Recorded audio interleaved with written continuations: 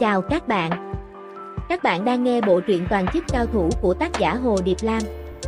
Bộ truyện được chuyển thể phun trọn bộ thành truyện audio trên kênh YouTube Thích Nghe Truyện 247. Trong quá trình dịch thuật và chuyển đổi, đôi khi vẫn có một số lỗi nho nhỏ, nên các bạn chú ý trước khi nghe nhé. Nếu thấy hay, các bạn hãy cho mình xin 3 giây để nhấn like, share và nhấn nút đăng ký kênh để ủng hộ mình nhé. Xin cảm ơn. Đại thần vừa lòng rồi. Đăng hoa dạ đứng bên hỏi. Ừ, được rồi, chuẩn bị vào thôi. Diệp Tu nói, đến giờ, Tri Nguyệt Khuynh Thành vẫn chưa hiểu rõ chuyện gì đang xảy ra. Kết quả nghe thấy Lam Hà tuyên bố, mọi người nghe đây, phó bản lần này do quân Mạc Tiếu chỉ huy. Ông chỉ huy, Tri Nguyệt Khuynh Thành thật bất ngờ. Ừ, Diệp Tu nói, vì sao, Tri Nguyệt Khuynh Thành có chút khó hiểu. Vì đạt kỷ lục, Diệp Tu nói, cũng đã bước vào phó bản.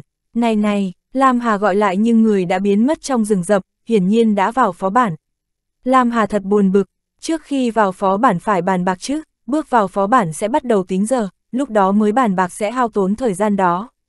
Đại thần đã vào rồi, mọi người còn chờ gì, lũ phạm nhân mau vào đi. Đăng hoa dạ lớn cười lớn bảo, ra tìm ông tính sau Lam Hà mắng một câu, vội vàng cùng bốn người vào phó bản. Tiểu quái trong rừng rậm băng xương là loại quỷ lùn da xanh, có tấn công gần, có tấn công xa, còn biết làm phép, đủ loại ma pháp, rõ ràng không hề giống quy luật tuần hoàn đơn điệu của thôn tân thủ. Hơn nữa bộ dạng của đám quỷ lùn giống y nhau, không đến đánh thử sẽ không biết đối thủ thuộc loại nào. Sau khi bốn người Lam Hà tiến vào, phó bản chính thức bắt đầu tính giờ. Tất cả mọi người không ngu người ở cửa, tranh thủ từng giây gấp rút lên đường, vừa nghe Diệp Tu chỉ thị, có ma đạo học giả thì dễ đánh rồi, chúng ta dùng một đợt sóng xô. Lam Hà bị dọa nhảy dựng, một đợt sóng xô dùng thế nào? Ông không biết một đợt sóng xô, Diệp Tu kinh ngạc hơn cả Lam Hà. Lam Hà đương nhiên biết, một đợt sóng xô của Vinh Quang chính là kéo tất cả quái tới, sau đó diệt sạch quái tụ lại trong một đợt. Nhưng cách đánh này chỉ dùng được với phó bản có đẳng cấp thấp hơn, hơn nữa phải có MT cường lực, chưa từng nghe bảo phó bản cung cấp có thể sử dụng một đợt sóng xô. Một đợt sóng xô là, tôi hiểu tôi hiểu, nhưng tôi không hiểu tại sao chúng ta dùng một đợt sóng xô. Lam Hà nói, tôi kéo quái, sau đó tu lỗ lỗ tụ quái, hỏa pháp liệt diệm chấn động, băng pháp bão tuyết, sau đó. Ông nói cứ như chưa nói vậy, được thì ông kéo quái đi. Chúng ta dùng một đợt sóng xô, Lam Hà rơi lệ đầy mặt, cậu đương nhiên biết mấy trình tự cơ bản này rồi, nhưng điểm mấu chốt của một đợt sóng xô chính là người kéo quái, có thể kéo theo một đám quái về mà vẫn còn sống được, đấy là cả một vấn đề. Kết quả người ta chỉ nhẹ nhàng nói bốn chữ tôi đi kéo quái để khái quát vấn đề này, Lam Hà có nói cũng tốn thời gian, thôi, chết thì chết. Lam Hà gửi đến một biểu tượng mồ hôi như thác thể hiện tâm trạng của mình bây giờ. Ba người còn lại thấy Lam Hà nói thế, cũng đành nhận mệnh, xếp hàng gửi theo một loạt mồ hôi như thác. Ngay cả Diệp Tu cũng gõ một cái cười tủm tỉm, hô to, lên. Quân Mạc Tiếu chạy đi, đám Lam Hà nhìn theo bóng lưng hắn, cảm giác tráng sĩ một đi không trở lại cũng giống thế này mà thôi. Không thể không nói, người này thật dũng cảm, tôi ngưỡng mộ hắn. Lôi minh điện quang châm chọc, theo kịp nào, có tiếng kêu gọi từ phía trước, Bốn người nâng mặt đầy mồ hôi cất bước đuổi theo, nhìn thấy ngay quân Mạc Tiếu đang tiếp cận hai con quỷ lùn. Hai con quỷ lùn, một con bắt đầu ném đá, con còn lại ném thuật băng tiễn, bốn người đồng thanh nói, bi kịch a, mới lên đã gặp hai con đánh xa. Đá và băng tiễn bay ra, chợt chỉ thấy cơ thể quân Mạc Tiếu lay động hai cái, đá và băng tiễn bay lướt qua thân hắn. Đậu xanh, không phải chứ. Lay động rích rắc, Lam Hà sợ hãi kêu lên. chương 36, một đợt sóng sộp 2 lai động dích xác thật ra chỉ là một thao tác đổi hướng trong lúc di chuyển, sang trái, sang phải, đồng thời phóng người về trước, cuối cùng vẽ ra một đường dích xác Nhưng nếu trong lúc tiến hành thao tác quá nhanh, biên độ di chuyển sẽ trở nên rất nhỏ, nhân vật đổi hướng trong nháy mắt, nhìn không giống di chuyển mà chỉ như hơi lắc người. Nếu thao tác nhanh chóng khiến nhân vật tựa như đang lay động thì người chơi bình thường làm được rất nhiều, nhưng có thể sử dụng lay động dích xác trong thực chiến, tất nhiên phải là đại cao thủ dựa vào biên độ di chuyển nhỏ nhất để né tránh công kích, không cần nói cũng biết được thao tác và phán đoán của người này chuẩn xác nhường nào. Không chỉ Lam Hà, ba người lôi minh điện quang cũng là dân biết nhìn hàng, lúc này cũng đang khiếp sợ trước thao tác đầy kỹ xảo này, quân Mạc Tiếu đã xông đến trước mặt hai con quỷ lùn, nâng tay đã ra một trường, một vòng khí mạnh mẽ truyền ra ngoài, hai con quỷ lùn bị ẩm cái đánh bay. Kỹ năng cấp 15 của Pháp sư chiến đấu, lạc hoa trường, Kỹ năng này có hiệu quả đánh bay vô cùng tốt, thân thể quỷ lùn nhỏ nhẹ, bị một trưởng đánh trúng liền bay xa tận mấy thước. Quân Mạc Tiếu không hề ngừng nghỉ, tiếp tục lao đến trước một đoạn, bên đấy lại có hai con quỷ lùn, phát hiện người chơi tiến vào phạm vi thù hận thì móc gậy lớn ra, chúng là hai con thuộc dạng cận chiến. Vì vậy lúc này quân Mạc Tiếu không tiến sát về phía chúng nữa, tiếp tục phóng thẳng về trước. Hai con quỷ lùn bị thổi bay vừa nãy cũng đã bỏ dậy, một con chuẩn bị ném đá, một con vẫn đang niệm phép ra băng tiến. Quân Mạc Tiếu còn cách chúng khoảng 2 mét đã rút chiến mâu ra, hai tiếng bùm bụp, đá của quỷ lùn không ném được nữa, băng tiến cũng bị gián đoạn, quân Mạc Tiếu lại quét ngang một mâu, lật ngã hai con quái rồi đạp lên chúng mà chạy lướt qua. Mục tiêu tiếp theo là hai con quỷ lùn hướng 10 giờ, lần này một con rút gậy một con đang ra băng tiễn, lúc băng tiễn bay ra, quân Mạc Tiếu đã trực tiếp nhảy lên, thuận tiện bay qua đỉnh đầu con quỷ lùn đang rút gậy xông đến. Giữa không trung đâm một mâu đến, khiến con quỷ lùn đang ra tiếp băng tiễn bị cắt ngang, sau đấy rơi xuống sau lưng con quỷ lùn này. Hai con quỷ lùn một con xoay người, một con cầm gậy đuổi đến. Quân Mạc Tiếu nâng tay lại là lạc hoa trưởng, hai con quái bị đánh bay, hơn nữa không nghiêng không lệch, vừa lúc văng chúng người hai con quỷ lùn đánh xa vừa nãy. Hai con quỷ lùn tội nghiệp kia, kỹ năng lại chưa kịp ra đã té nhào. Cứ như vậy, dù đang canh gác hay đang tuần tra, tất cả quỷ lùn đều bị quân mạc tiếu hoặc kéo, hoặc đánh, toàn bộ bị kinh động. Những con quỷ lùn cận chiến đồng thời la hét cầm gậy đuổi theo quân mạc tiếu, những con đánh xa thì bận rộn sử dụng chiêu thức của mình, rừng rậm băng xương lập tức trở nên vô cùng náo nhiệt. Bọn người Lam Hà đuổi theo phía sau, cả đám đều trần chờ không thể phủ nhận rằng, nếu nói về kỹ thuật thì quân Mạc Tiếu thật sự có tài, cơ mà. Khiến phó bản ẩm ý đến gà bay chó sủa như vậy, nhìn thế nào cũng giống một đội toàn người chơi cấp cao đến càn quét phó bản. Lúc này bốn người Lam Hà đã không thấy quân Mạc Tiếu nữa, trước mặt bọn họ là một lũ quỷ lùn đang la hét, không ngừng đuổi về phía trước. Quân Mạc Tiếu đâu, đám Lam Hà chỉ có thể biết được tên này còn sống từ hai chỗ, một là danh sách đội ngũ, máu của quân Mạc Tiếu còn hơn phân nửa, vẫn còn sống nhăn răng, hai là thỉnh thoảng lại thấy bóng dáng của quân Mạc Tiếu nhảy lên, vụt lên hạ xuống, lại bị lũ quỷ lùn chặn mất. Này, đã hơn 20 con rồi. Giọng Vân Quy có chút run rẩy, mới cấp 20 vào phó bản đã làm ra dạng này, dữ dội quá rồi. Còn chưa giết ư, Chi Nguyệt Khuynh Thành sớm chuẩn bị xong tu lỗ lỗ rồi. Giờ tôi muốn biết chút nữa hắn sẽ làm gì. Lôi minh điện quang nhìn con đường tràn ngập quỷ lùn trước mắt, trong giọng nói mang theo kính phục. Đừng có bảo em cứ thế mà ném tu lỗ lỗ ra nha. Không tới đâu, Chi Nguyệt Khuynh Thành sốt ruột, bởi phương thức công kích của quỷ lùn vừa xa vừa gần, lúc này lại chia thành hai binh đoàn, một đoàn sách gậy quyết đuổi không rời, một đoàn vẫn duy trì khoảng cách, quân Mạc Tiếu phải chạy khỏi phạm vi đánh xa của chúng mới có thể chạy được vài bước. Làm gì, lẽ nào mấy người đều hỏi tôi, tôi không biết gì hết, Lam Hà nói, vừa dứt lời, lôi minh điện quang đột nhiên bắt đầu nhảy nhót, muốn nhìn tình hình phía sau đống quái trồng chất kia là gì. Hành động khôi hài vậy mà vào lúc này chẳng đứa nào cười nổi, Lam Hà vội hỏi tình hình ra sao. Quái tụ lại trông rất đẹp, lôi minh điện quang nói. Hả, Lam Hà cũng có xúc động muốn nhảy lên nhìn, nhưng thân là một trong năm đại cao thủ của Lam Khê Các, hội trưởng đại nhân của khu 10, cần phải giữ chút thể diện, vì thế chỉ từ tốn hỏi tụ thế nào. Sao tôi biết, dù thế nào thì quái cũng từng đoàn rồi từng đoàn. Lôi minh điện quang vừa nhảy vừa nói, cho tất cả mọi người nghe được tiếng trưởng liên tục. Lạc hoa, ngóa nó, trưởng này đánh đã quá. Lôi minh điện quang kêu to, ba người khác cũng thấy nhóm quỷ lùn phía trước lập tức rối loạn, một cái lạc hoa trưởng này chẳng biết đánh bay bao nhiêu em quỷ lùn, quỷ lùn cầm gậy bay ngược ra sau đụng phải quỷ lùn đánh xa, lập tức ngã hàng loạt. Tầm nhìn của bốn người lập tức trống trải, chỉ thấy đứng trước đống quái là quân mạc tiếu tay phải cầm mâu, tay trái đẩy phía trước, vạt áo tung bay, vẫn còn duy trì tạo hình của lạc hoa trường xung quanh ngổn ngang đầy quỷ lùn. Hình ảnh này ngừng lại chưa đến một giây, nhưng tạo hình uy vũ của quân mạc tiếu trong nháy mắt đã in sâu trong đầu họ. Thế nhưng vào giây tiếp theo, lũ quỷ lùn ngã trái ngã phái đã đứng dậy, không sợ mà chuẩn bị xông lên lần hai. Quân mạc tiếu nhảy người vọt lên, lôi minh điện quang tranh thủ chế diễu, làm gì vậy, hắn chuẩn bị bay qua đây ư. Kết quả, hắn bay, hắn thực sự bay kìa, lôi minh điện quang lệ rơi đầy mặt hét lên, sau khi nhảy lên quay mặt về phía họ, quân mạc tiếu chợt xoay người 180 độ, tiếng súng vang lên, cả người đột nhiên bay ngược về phía họ. Đám Lam Hà bọn họ đều có hiểu biết, nhìn ra ngay đây chính là kỹ thuật di chuyển trên không của nhóm xạ thủ, nổ súng trên không, lợi dụng lực phản của súng khiến cả người bay ngược về phía sau. Lực phản của súng càng lớn, khoảng cách bay ngược càng xa.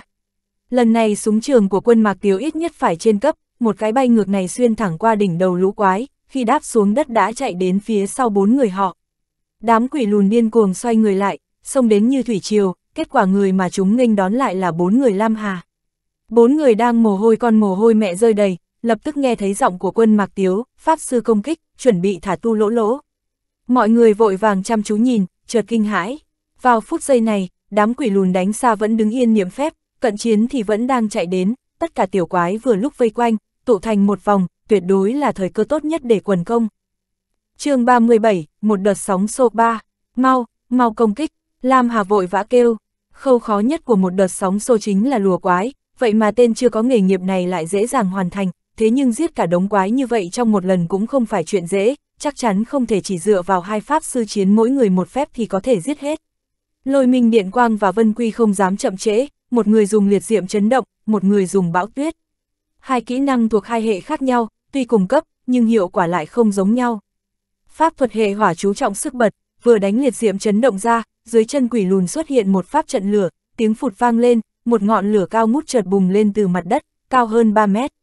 Nhóm quỷ lùn bị chấn động đều nổi lơ lửng và gào thét trong ngọn lửa mãnh liệt, nhưng kỹ năng này không phải pháo hoa, cột lửa sau một giây đã biến mất, lũ quỷ lùn rớt xuống mặt đất, bão tuyết của Vân Quy cũng ẩm ẩm kéo đến vào lúc này, mưa đá sen lẫn hoa tuyết, từng cái như bánh bao đủ kích cỡ, không chút lưu tình đập lên người lũ quỷ lùn. Công kích của liệt diệm chấn động chỉ là một thoáng, bão tuyết lại duy trì liên tục 4 giây, mỗi giây sẽ rơi một trận. Tính về tổng sát thương gây ra thì bão tuyết cao hơn, nhưng tấn công trong nháy mắt thì rõ ràng liệt diệm chấn động mạnh hơn, đây chính là đặc điểm của hệ băng và hệ hỏa.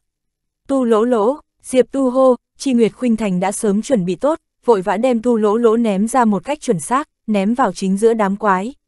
Tu lỗ lỗ giống một con búp bê vải, có tác dụng cưỡng ép thù hận của quái trong vòng bán kính 2 mét lên người nó. Đương nhiên cũng phải có điều kiện, đầu tiên là cấp của tu lỗ lỗ không thể thấp hơn quái, thứ hai là tu lỗ lỗ không có hiệu lực với những loại quái tinh anh, boss hoặc lãnh chúa, phải dùng thêm kỹ năng bị động tu lỗ lỗ cải tiến của ma đạo học giả mới thực hiện được. Hiện nay đẳng cấp của Chi Nguyệt Khuynh Thành vẫn chưa đủ để học tu lỗ lỗ cải tiến, nhưng tu lỗ lỗ của cô là tăng theo cấp, về mặt đẳng cấp thì không có vấn đề gì, một con vừa ném ra, tất cả quỷ lùn đều chạy về phía tu lỗ lỗ. Chỉ có thể kéo dài trong một lúc, Chi Nguyệt Khuynh Thành ném xong vội la lên, thời gian hiệu quả của tu lỗ lỗ siêu dài, những 20 giây, nhưng vấn đề là máu của con búp bê này không nhiều. Quái bị hấp dẫn thù hận đương nhiên không phải chỉ vây xem mà sẽ công kích.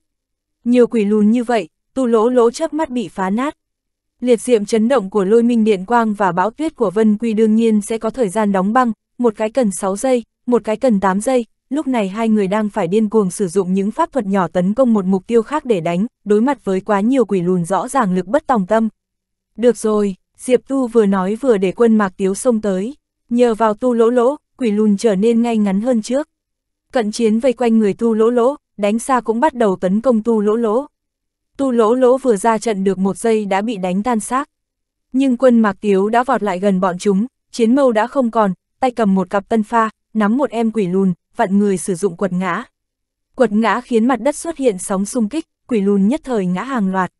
Kiếm khách chuẩn bị ngân quang lạc nhẫn, lập tức phóng, Diệp Tu hô, Lam Hà cho đến bây giờ vẫn chưa có cơ hội phát huy vừa nghe thế thì khẽ giật mình, nhưng cũng nhanh chóng phản ứng lại, cầm kiếm ánh sáng viêm nhật vội vàng tiến lên.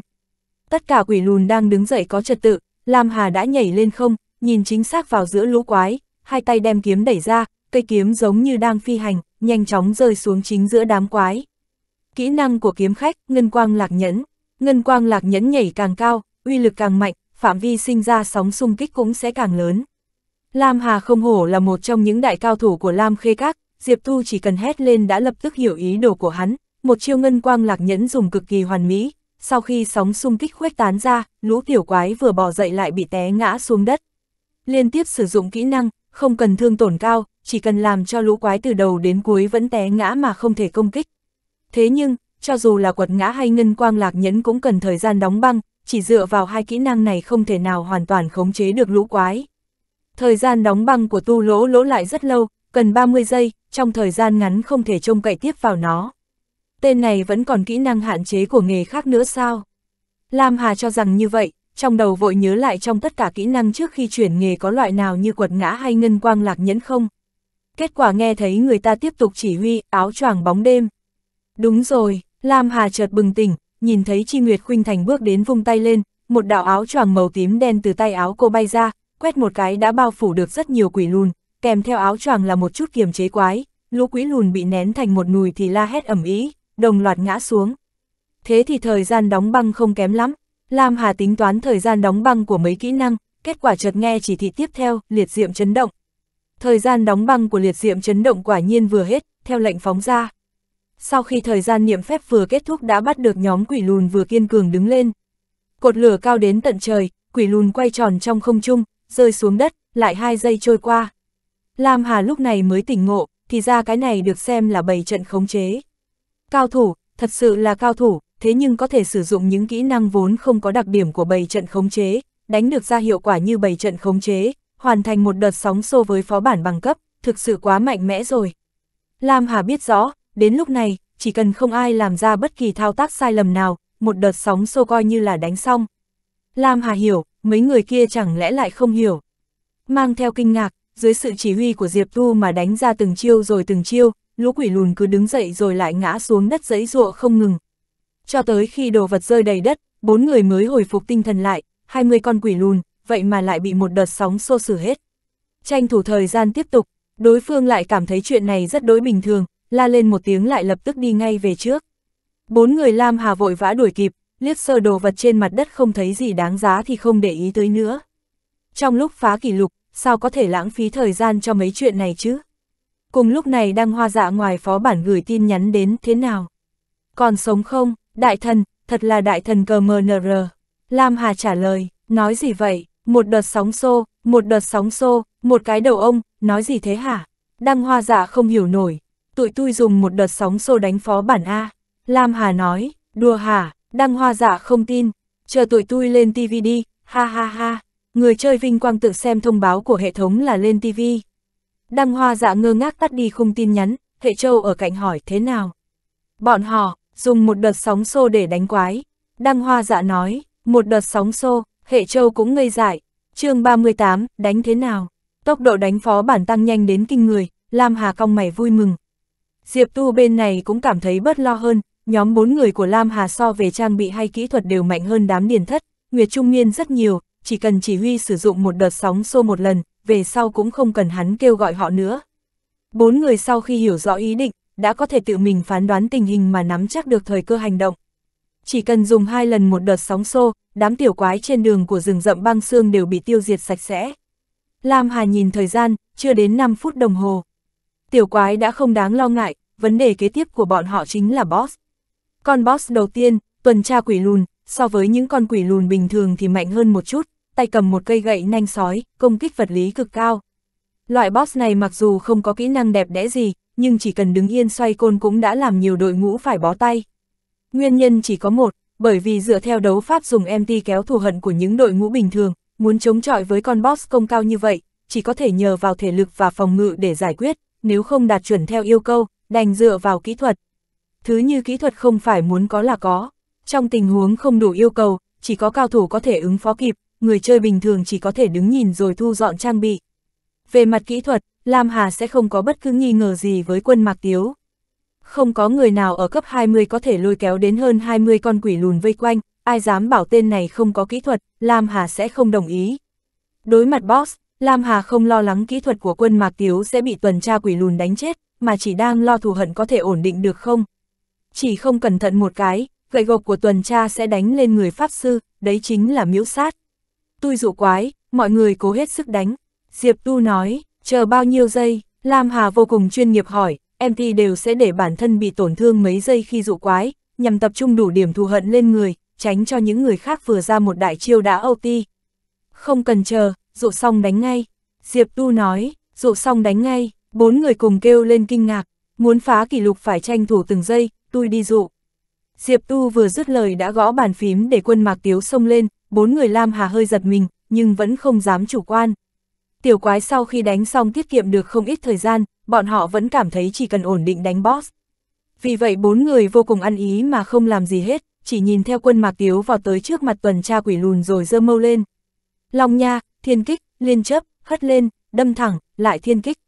Chờ cái gì, nghe được tiếng kêu to, bọn người Lam Hà như vừa mới tỉnh mộng, hơi chút chẳng biết phải làm gì. Từ lúc quân mạc tiếu bắt đầu dụ quái, tuần tra quỷ lùn luôn lộn nhào trên cao, đây là liên kích vô hạn trên không hoành tráng kia ư. Bốn người không tự chủ được muốn nhìn quân mạc tiếu có thể liên kích bao nhiêu cái, muốn nhìn thử boss chừng nào mới rơi xuống. Nhưng người ta đã gọi, bốn người mới kịp phản ứng mình đến đây không phải để thưởng thức video clip, vội vã ngâm phép, lấy ra đạo cụ ma pháp, rút kiếm, một mạch xông đến.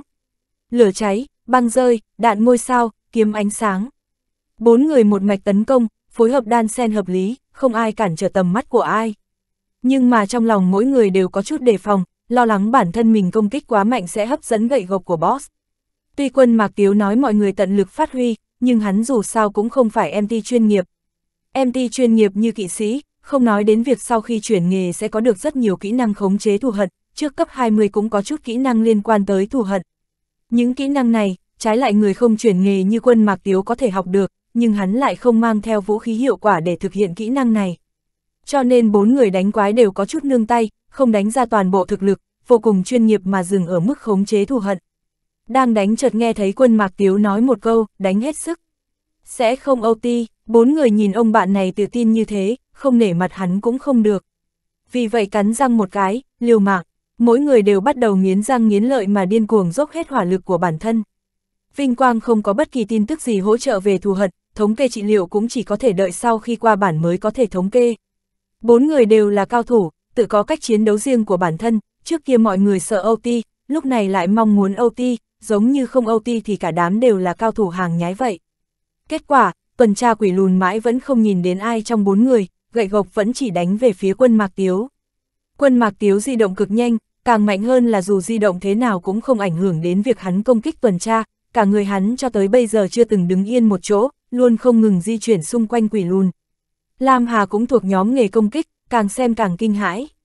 Đấu pháp này của quân Mạc Tiếu, boss của hệ thống có thể ứng phó nhanh chóng, vẫn xoay người đuổi kịp hắn, bất luận quẹo trái hay phải, cho nên tác dụng cũng chỉ là tránh né công kích của boss.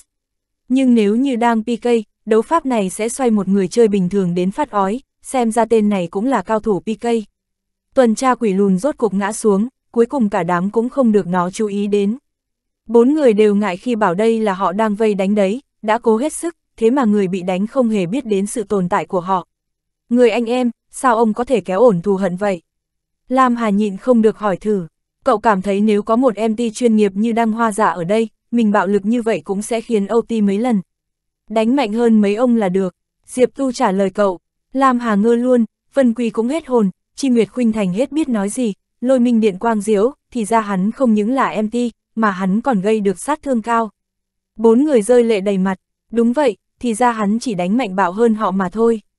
Quân Mạc Tiếu không ngừng lại mà đi đánh tiếp ba con quỷ lùn, bốn người khẽ bàn tán phía sau. Thế mà đánh cao hơn cả chúng ta. Vân Quy nói thầm, hơn nữa cao hơn không ít, bằng không cừu hận sẽ không ổn định như thế. Chi Nguyệt Khuynh Thành nói, tôi thừa nhận kỹ thuật của hắn rất tốt, nhưng có thể dựa vào sát thương mà kéo ổn như thế, công kích chắc chắn rất cao. Có ai biết gì về cây chiến mâu của hắn không? Lam Hà hỏi, không nhận ra, trông rất lạ, giống cây tỏi bự vậy. Lôi Minh Điện Quang nói, tỏi nhà ông chồng cũng giống vậy đó hả? Vân Quy nói, nghệ thuật thậm xương đó hiểu không? Lôi Minh Điện Quang nói, cút đi, Vân Quy khinh bỉ, câm miệng hết, dụ quái, chuyên tâm vào. Lam Hà nói, quân Mạc Tiếu ở phía trước lại bắt đầu một đợt sóng xô mà dẫn quái, bốn người không dám khinh thường, tuy đã thành công hai lần, nhưng cả đám biết rõ chuyện này rất mạo hiểm, bất luận một kỹ năng sai sót nào cũng có thể làm mất khống chế vài con, hậu quả sẽ không tưởng tượng nối. Kéo quái, tụ quái, diệt quái, mọi người phát huy thực lực rất tốt, sau hai lần một đợt sóng xô thì diệt sạch quái ven đường đến boss thứ hai. Đối mặt với boss thứ hai, bốn người Lam Hà cũng không khiêm nhường nữa, vừa lên đã dốc hết toàn lực. Kết quả, kết quả bốn người lại yên lặng theo sau quân Mạc Tiếu. Thật nhanh a, kỷ lục khẳng định sẽ bị chúng ta đoạt được. Lôi Minh Điện Quang đột nhiên cảm thấy mừng rỡ. Hơn nữa đổi mới với tranh lệch rất lớn Lam Hà hết sức vui mừng. Sướng, Vân Quy cũng thực hài lòng. Chi Nguyệt Khuynh Thành không biết nên nói gì. Đánh ra gì gì đó, chẳng muốn nhắc đến nữa rồi. chương 39, Trải ân băng xương. Boss cuối của rừng rậm băng xương là lãnh chúa quỷ lùn Trải ân băng xương. Từ độ nổi tiếng thì biết ngay boss của phó bản này có giá trị hơn so với boss ẩn ở thôn Tân Thủ dáng người của trải ân so với quỷ lùn thông thường cũng không khác nhau mấy, nhưng mặt mũi lại dữ tợn hơn, càng giống như đang có âm mưu xảo quyệt gì đấy, chỉ ít nó không giống quỷ lùn thông thường là có một cái mũi xanh lẻ bắt mắt trông rất buồn cười. Bởi vì toàn bộ màu da của trải ân băng xương đều là màu xanh thẳm, khi nó xoay mặt cũng chẳng cần mặt mày dạng dỡ thì đã trông rất giống một vật nuôi đáng yêu rồi. Nhưng hầu hết người chơi ai cũng biết nó không đáng yêu chút nào cả. Trong tay phải của trại ân băng xương là một thanh băng đao, cao bằng với thân thể thấp bé của nó. Khi vung tay, nó mang đến trận trận gió lạnh, có thể công kích xa hơn cả tầm nhìn của người chơi. Bởi nó có một ít thủ đoạn công kích đặc thù, nên chắc chắn MT kéo thù hận đầu tiên luôn sẽ bị khống chế ở điểm này. Vì thế trong hướng dẫn chiếm đóng của băng xương rừng rậm, đội ngũ được khuyến nghị nên dẫn theo hai MT, để khi đối mặt với boss số một tuần tra quỷ lùn và trải ân băng xương thì có thể giảm kha khá áp lực. Về phần Diệp Tu, hắn sao lại giống những người chơi bình thường dựa dẫm vào hướng dẫn được, hắn nhìn bốn người đang đứng trước mặt, vừa hô lên, quân Mạc Tiếu đã cầm chiến mâu sông lên. Đấy cũng là vì tố chất của từng đội viên trong đội quả thực rất cao, nếu như đổi thành nhóm điền thất, không những phải giải thích nhiều hơn, mà lúc thực chiến cũng cần phải trông chừng thật kỹ, so ra thì bọn Lam Hà đỡ lo hơn nhiều. Bốn người Lam Hà cũng không nhiều lời, liền cùng nhau lên. Quân Mạc Tiếu xông vào đầu tiên, trước là khiến cho trại ân băng xương chú ý tới hắn. Con boss này tốc độ hành động so với loài quỷ lùn thông thường nhanh hơn gấp bội, hai cái chân ngắn ngủn của nó trông như hai bánh xe đang chuyển động, nháy mắt đã vào tới trước mặt quân Mạc Tiếu. Kết quả một giây kế tiếp, trại ân băng xương đã bị hất lên trời. Mạnh quá, bọn người Lam Hà lặng lẽ nhìn, lặng lẽ khen, dù đó chỉ là một kích, nhưng so với tốc độ và sự khéo léo của trại ân băng xương, muốn ra một kích như thế cũng không hề dễ dàng chút nào. Với loại boss này, kéo được quái thôi đã là điểm khó khăn rồi, nếu là MT đăng hoa giả của bọn Lam Hà, trong chuyến đi rừng rậm băng xương thì công kích đến lần thứ ba mới chém chúng được, sau đấy đánh một chuỗi liên kích nhỏ để tạo điểm thù hận. Đấy đã được xem là một thành tích rất tốt, đổi thành một đội ngũ bình thường, MT đánh muốn tàn luôn cũng không tạo ổn thù hận, ngược lại kết cuộc thường là thù hận bị chuyển sang cho mục sư trị liệu MT. Quân mạc tiếu bên này đang hất trải ân băng xương lên trời, kèm theo đấy là vài kỹ năng truy đuổi, đánh ra một loạt liên kích trên không. Nhưng trải ân băng xương là một boss nổi tiếng, đối phó với nó chỉ cần chút thủ đoạn liên kích không ngừng trên không thì được ư. Chợt thấy giữa không trung, nó đột nhiên phát ra ánh xanh, bóng dáng nó lập tức biến mất. Bọn Lam Hà cũng không ngạc nhiên mấy, rằng trại ân băng xương thậm chí có cả kỹ năng dịch chuyển tức thời này. Đang tìm vị trí mà nó di chuyển đến, bốn người lại nghe được phập, âm thanh bị đâm trúng, lúc nhìn sang chỉ thấy chiến mâu của quân Mạc Tiếu vẫn như cũ ở trên thân của trại ân băng xương mà đâm đâm đâm. Lam Hà bốn người ngứa ra, quay qua nhìn chỗ cũ, nơi có một quân Mạc Tiếu đứng nguyên vị trí. Ảnh phân thân sao, bốn người đương nhiên có thể nhìn ra, mấy kỹ năng như vậy nhìn nhiều rồi, không thể làm họ ngạc nhiên nữa. Điều làm họ ngạc nhiên chính là quân Mạc Tiếu ngay lần đầu đã có thể đuổi theo sự dịch chuyển tức thời của trại ân băng xương. Nghĩ đến điểm này, bọn Lam Hà đều có chút kinh hãi, họ biết trước khi trải ân băng xương dịch chuyển cũng có vài hành động, giống như khi một pháp sư thi triển pháp thuật, lúc đọc chú cũng phải giơ tay giơ chân chỉ chỗ này chỗ nọ, từ đó có thể đoán được vị trí phóng ra phép thuật. Thế nhưng đây dù sao cũng là loại pháp thuật tức thời, hành động cũng chỉ là một cái chớp nghi ngắn ngủi, kết quả là quân Mạc Tiếu vẫn như cũ có thể biết rõ ràng vị trí mà đối phương di chuyển đến, việc này không phải chỉ xảy ra trên lý thuyết thôi ư. Dịch chuyển tức thời của trải ân băng xương đương nhiên cũng có thời gian đóng băng, dùng được một lần thì mất linh, bị quân mạc tiếu quần cho một trận, mặt nào cũng rơi vào thế bị động. Phỏng chừng nó làm boss lâu như vậy cũng chưa từng bất lực thế này, muốn phóng đao, muốn ra phép, nhưng toàn bộ đều bị đối phương phá hủy trước một bước. Mọi người lên thôi, Lam Hà phát hiện bốn người bọn họ lại giống như đang bắt đầu thưởng thức video đấu sâu lâu nữa, vội vã kêu gọi một tiếng rồi cùng nhau xông lên. Chiến đấu cùng trải ân băng xương, vốn là một trận chiến mấp mé bờ vực thù hận. Một đội cao thủ chỉ mang theo một MT như đội Lam Hà, càng cần phải tinh tế phán đoán điểm thù hận giữa MT và trải ân băng xương, để tránh xảy ra OT. Nhưng bây giờ, có DPS mạnh đến nỗi trại ân băng xương không ra nổi chiêu nào như quân mạch tiếu, bốn người chẳng còn lo lắng hay do dự nữa.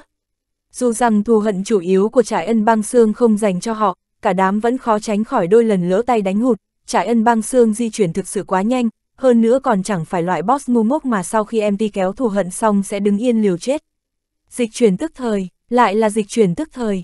Đám người Lam Hà mắng, dịch chuyển của trại ân băng xương sau khi hết đóng băng sẽ sử dụng ngay, nhưng ngày hôm nay nó gặp phải đối thủ rồi, quân mạc tiếu lợi dụng ảnh phân thân thi triển ra dịch chuyển tức thời, không hề chậm hơn nó. Rốt cuộc chỉ còn bốn người Lam Hà buồn bực vỗ phím thay đổi hướng chạy. Mà vụ này đã xảy ra nhiều lần rồi. Chú ý, sắc máu đỏ, lúc này Diệp Tu đột nhiên trầm giọng nói một câu. Ừ, bốn người lên tiếng trả lời, vấn đề quan trọng như máu đỏ, bọn họ đương nhiên đã sớm chú ý tới. Trải ân băng xương ở trạng thái máu đỏ thì thi triển pháp thuật sẽ bước vào trạng thái bá thể, cho nên không thể bị cắt ngang bởi những công kích thông thường, hơn nữa tốc độ của nó cũng nhanh hơn, có thêm một câu chú trong nháy mắt tạo ra một lốc xoáy băng, đối với những người chơi đang vây giết nó có thể là một cú chí mạng. mau lui lại, Lam Hà chợt thấy ánh mắt của Trại ân băng xương hiện lên hung quang, thanh băng đao lớn múa ra vài đường đao, lốc xoáy băng sắp nổi lên, cậu vội vã hô một tiếng liền dẫn đầu mọi người tránh xa Trại ân băng xương. Ba người kia không phải nghề cận chiến, không khẩn trương như vậy, nhưng cũng tập trung tinh thần, lốc xoáy băng này không có mục tiêu thù hận cụ thể, vừa xuất hiện là di động bốn phía ngay. Ai ngờ chợt nghe oanh một tiếng, lốc xoáy băng không xuất hiện, trải ân băng xương lại bị đánh ngã nằm úp mặt. Quật ngã, quân mạc tiếu dùng chiêu quật ngã, kỹ năng này có thể phá tình trạng bá thể ở boss. Chạy cái gì, ông chưa học kỹ năng liệt ba chảm sao? Diệp Tu khó hiểu nói một câu, Lam Hà biết lời này là nói mình, liệt ba chảm là kỹ năng của quỷ kiếm sĩ, có thể phá bá thể. Vì là kỹ năng dưới cấp 20, thế nên kiếm khách như Lam Hà cũng có thể học, hơn nữa kiếm khách thường sẽ học một cấp của kỹ năng này, không mong gây thương tổn, chỉ chuyên dùng để phá tình trạng bá thể. Kỹ năng phá bá thể đương nhiên có thể cắt ngang bá thể trong thời gian niệm phép, nhưng vấn đề đây là trải ân băng xương đó. Là trải ân băng xương mà khi em ti kéo quái thì thường chuyển luôn thù hận sang trị liệu đó. Ai dám đem cả đội ra đánh cuộc là chính mình có thể đánh chúng rồi phá ngang kỹ năng bá thể chứ. Lam Hà kỳ thực cũng không phải không chắc chắn như vậy, nhưng do có khả năng tại cậu sơ sẩy mà phá hủy toàn bộ cục diện, cho nên cậu chọn biện pháp an toàn nhất, kết quả lại bị phê bình. Lam Hà có chút xấu hổ, vì vậy vô liêm sỉ trả lời, ừ, chưa học. Tiếng chọc ghẹo vang lên, nhưng ba người kia cũng hiểu được tâm tư Lam Hà, không diễu cợt lâu lắm. Phải học nha, phá bá thể rất hữu dụng đó, Diệp Tu nói. Tôi biết, điểm kỹ năng giờ chưa đủ, nên tạm thời không học, quay về sẽ tăng một cấp, Lam Hà mặt đỏ tới mang tai, bản thân đang bị dạy cho những kiến thức căn bản A. chương 40, kỷ lục đổi mới. Lam Hà hậm hực trả lời rồi tiếp tục công kích, lòng muốn vào lúc trại ân băng xương đánh ra đại chiêu lần nữa thì quăng một chiêu liệt ba chảm ra để cứu vãn danh dự, lại chỉ hận vừa rồi lỡ bảo chưa học liệt ba chảm. Hiện tại đột nhiên sử dụng, làm sao giải thích đây? Hóa ra vô tình học lúc nào mà không hay ư, địch, quá vụng, Lam Hà nghĩ thôi đã muốn đỏ mặt. Uy hiếp lớn nhất sau khi trại ân băng xương bùng nổ đã vì sự phát huy vô vàn tự tin của quân Mạc Tiếu mà bị hóa giải sạch sẽ. Nó cũng chẳng còn trò mới nào, dưới sự vây đánh đầy bạo lực của 5 người, rốt cục ngã xuống. Trang bị rơi ra, nhưng đám Lam Hà vốn không quan tâm, mọi người đều nhìn chăm chú về cửa sổ chứa tin tức hệ thống. Chúc mừng người chơi Lam Hà, lôi minh điện quang, quân Mạc Tiếu, Vân Quy, Chi Nguyệt Khuynh Thành của Lam Khê các phá vỡ kỷ lục qua phó bản rừng rậm băng xương, thành tích 20 phút 24 giây 11. Bốn người Lam Hà tự mình cảm thụ toàn quá trình qua bản lần này, từ lúc cả đám quái của đợt đầu bị diệt gọn, bọn họ biết ngay rằng chỉ cần không xảy ra sai sót, phá kỷ lục là chuyện tất yếu. Vốn kết quả này không hề gây bất ngờ cho họ, nhưng mức độ phá bản lại vẫn khiến cả đám vô cùng sụp sôi. Kỷ lục trên đấy đang là 26 phút 12 giây 48 của Trung Thảo Đường, kết quả bọn họ chỉ cần một lần đã nhanh hơn 5 phút. Loại kỷ lục này nào có thể nâng lên một bước lớn thế chứ? Với thân phận từng trải của bọn Lam Hà, đều biết được thứ này đổi thay 8 đến 10 lần là còn xem như ít, tranh lệch mỗi lần cơ bản đều vẻn vẹn một phút, lên thẳng 5 phút nhanh gọn xúc tích như bọn Lam Hà quả thật hơi trái lẽ thường rồi. So sánh với họ, người chơi khác sau khi nhìn thấy tin tức hệ thống cũng hoàn toàn kinh hãi. Đám điền thất lên 20 chuyển nghề xong thì rời khỏi thôn Tân Thủ, sau khi tìm thêm một người nữa thì vào rừng rậm băng xương, đang đánh đến sức đầu mẻ chán trong phó bản, nãy giờ còn chưa qua được nửa bản, kết quả chợt thấy tin tức kia hiện ra, đám điền thất ngơ ngác, mà mới Trầm Ngọc đang chơi cùng họ kêu lên, nhìn kìa, là đại thần, đại thần lên tivi rồi. Mà mới với từ ngữ như lên TV trái lại học xong rất nhanh. Ừ, đúng vậy, đám điền thất buồn bực đáp lại, lòng cay đắng. Lam khê các, bọn họ đương nhiên biết đây là một trong ba công hội lớn của Vinh Quang, cũng chỉ có công hội đỉnh cao như thế mới xứng với thực lực của cao thủ đại ca. Còn công hội hạng hai nhân vật hạng hai như bọn họ, có thể được cao thủ đại ca dẫn lên TV hai lần cũng phải thỏa mãn rồi chứ. Cả ba đang buồn bã, Trầm Ngọc bên kia vẫn đang thầm thì, rừng rậm băng xương. Không phải phó bản tụi mình đang đánh ư, đúng a à, Điền Thất nói, 20 phút, chúng ta cũng đánh được 20 phút, bây giờ đánh đến đâu rồi? Trầm Ngọc hỏi, một nửa, Điền Thất phiền muộn, nhìn đi, đây chính là thói hư tật xấu khi quen biết cao thủ đại ca đấy, tỷ lệ 1 phần 2 thế này, thành tích hoàn toàn không cùng một đẳng cấp, bởi thế sẽ nảy sinh hoài nghi với trò chơi đấy, chuyện này rất nghiêm trọng. Người thứ năm trong đội họ, một mục sư tên giả vị ương, vẫn luôn chuyên tâm trị liệu, không nói câu nào. Lúc này nghe được bốn người thảo luận, thình lình chen vào một câu, kỷ lục chiếm đầu của mấy ông chủ yếu dựa vào người kia mới lấy được ư. Điền thất ngẩn người, ba người họ quả thực cũng lên tivi cả rồi, giống như lúc Trầm Ngọc nhập đội đã từng sùng bái họ. Chuyện này tạo áp lực cho bọn điền thất khi thêm người vào đội. Một khi giống Trầm Ngọc, đi vào nhìn thấy tên của cả ba thì cho rằng đã gia nhập một đội thần thánh, kết quả không có cao thủ đại ca, mọi người làm sao thần được đây.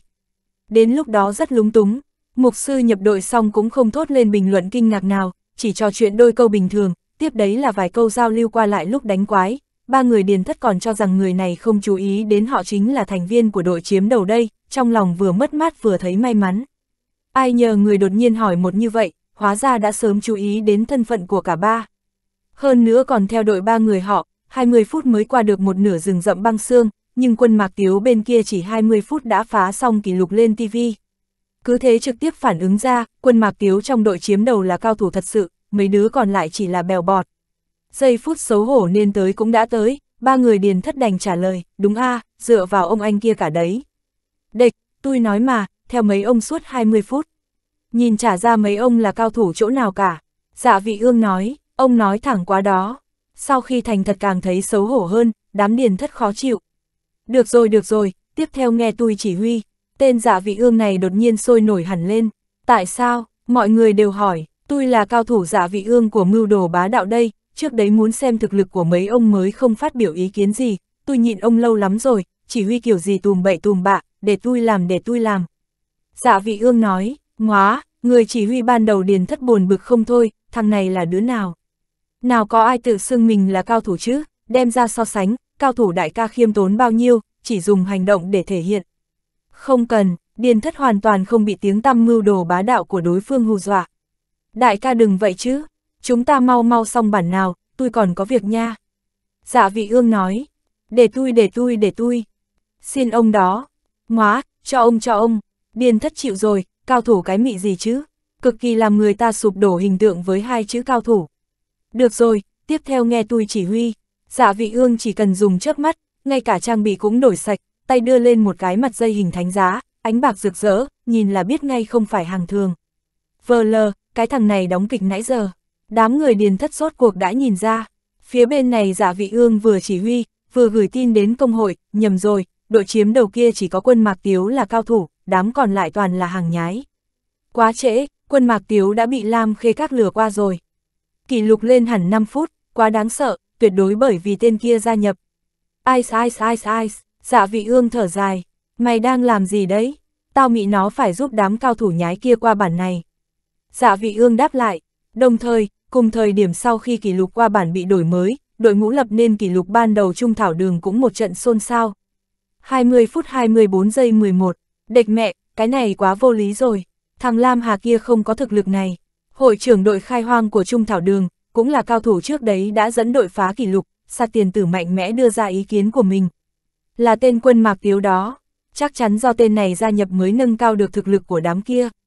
Cao thủ cùng đội, hạt đời ươi nói, mẹ kiếp, để tao hỏi Lam Hà thử. Sa tiền tử nói xong đã gửi tin cho Lam Hà, đều là cao thủ cao cấp của ba công hội lớn, quen biết ở thần chi lĩnh vực, đã thêm bạn tốt của nhau cả rồi. Ê ê, không chú ý đến, mấy ông đã nắm được một đại cao thủ như vậy a à? Sa tiền tử gửi đến Lam Hà. Ha ha ha ha, phục chưa hả?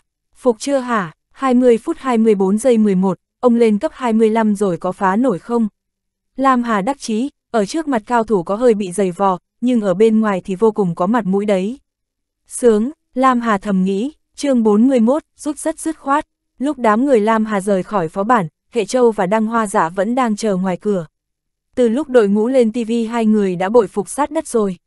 Bọn họ vốn thành viên ban đầu của đội ngũ đấy, hoàn toàn hiểu rõ thực lực của đội, trăm phần trăm xác nhận nguyên nhân khiến thành tích tăng cao 5 phút chính là quân Mạc Tiếu. Đăng hoa giả trước đấy vẫn rất nghi ngờ quân Mạc Tiếu lúc này khá xấu hổ, sau chỉ lúng ta lúng túng phun ra một câu, thật là đại thần A, sùng bái sùng bái, trước đây đã thất lễ. Bên kia, Hệ Châu nghe ngóng từ lôi minh điện quang quá trình qua bản ra sao, lôi minh điện quang nói đến nước miếng văng tung tóe Vân Quy và Chi Nguyệt Khuynh Thành đứng cạnh ngó sang liên tục, ông mị nó chém dữ vậy. Chém kiểu này phó bản chỉ cần 10 phút đã qua rồi. Được rồi, hiện tại kỷ lục phó bản đã phá rồi. Diệp Tu nói với Lam Hà, đúng vậy đúng vậy, lợi hại lợi hại. Lam Hà liên thanh ứng đạo, ông bạn à, Diệp Tu muốn nói lại thôi, ở đây ở đây, đồ A, Diệp Tu nhắc, đồ gì, à à, ông xem, tôi vui quá nên quên luôn. Lam Hà chợt hiểu ra người ta đang đòi những thứ đã hứa hẹn, hệ châu, đồ đâu. Lam Hà không mang theo thứ đó bên người, là cậu sau khi xác nhận phó bản có thể phá thì bảo hệ châu đi lấy.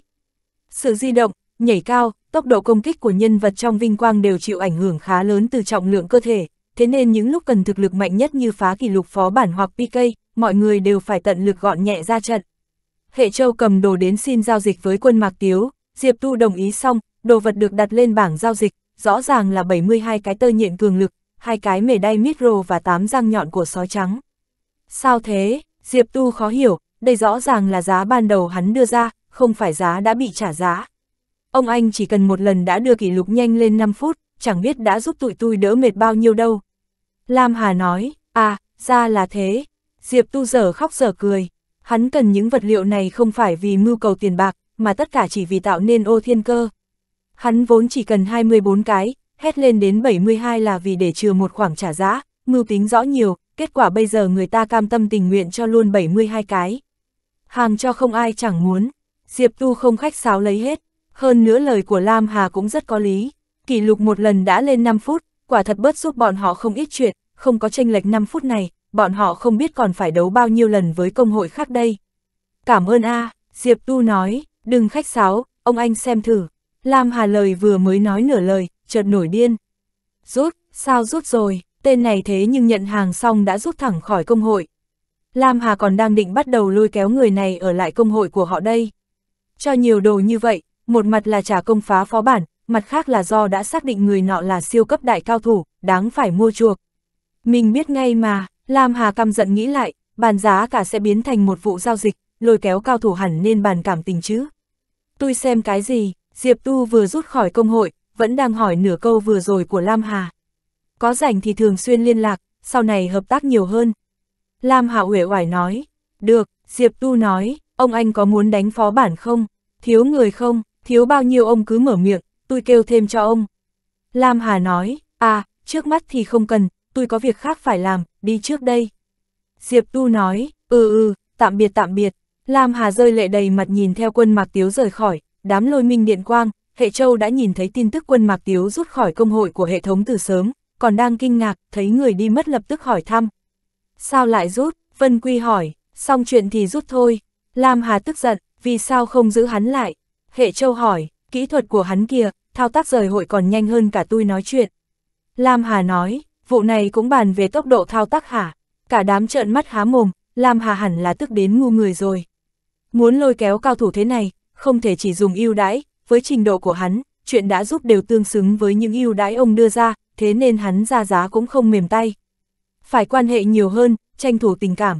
Hệ Châu nói, đúng a tôi vốn nghĩ vậy đó, thế sao mà. Lam Hà buồn bực tổng kết cho mọi người nghe bản thân đã làm gì khiến cho hoạt động phó bản vốn nên thành lập tình hữu nghị cách mạnh lại trở thành một vụ giao dịch. Ai ai, nếu không xài mỹ nhân kế đi, mau thông báo lão đại bảo anh ấy điều vài mỹ nữ qua. Lôi Minh Điện Quang nói, khụ khụ, có người ho khan vài cái, sau đấy phối hợp hành động với Chi Nguyệt, Lôi Minh Điện Quang bổ sung. Chi Nguyệt Khuynh Thành hết biết nói gì luôn, chỉ nhìn theo bóng dáng chưa biến mất hoàn toàn của quân Mạc Tiếu. Chi Nguyệt em cứ nhìn về hướng kia nha, chẳng lẽ em, hoa đăng trong đêm chạy quanh Chi Nguyệt Khuynh Thành hai vòng. Em đã không chờ đợi được nữa muốn ra tay ngay, lôi minh điện quang nói. Chi Nguyệt Khuynh Thành không thèm để ý mấy thứ này, lẳng lặng bảo, mấy anh không thấy tên này mạnh có chút quá đáng ư. Cả đám ngẩn người, lập tức im lặng, mấy người chúng ta, cũng được xem như cao thủ trong vinh quang nhỉ. Giả sử chúng ta không phải, Lam Hà chắc chắn cũng được tính mà đúng không? Nhưng em thấy trình độ của tên này còn cao hơn hẳn, thế thì hắn là cao thủ cấp bậc gì?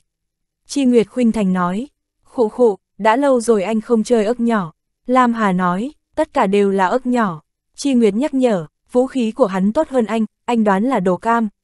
Lam Hà nói, hắn vẫn chưa chuyển nghề. Chi Nguyệt lại nhắc nhở, tóm lại mọi người đều có ưu khuyết bổ sung nhau.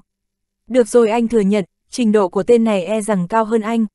Lam Hà phát hiện mặt mũi của mình không giành về được nữa rồi, chẳng qua người chơi vinh quang rất nhiều, có cao thủ tiềm tàng thế này cũng không quá bất ngờ nhỉ.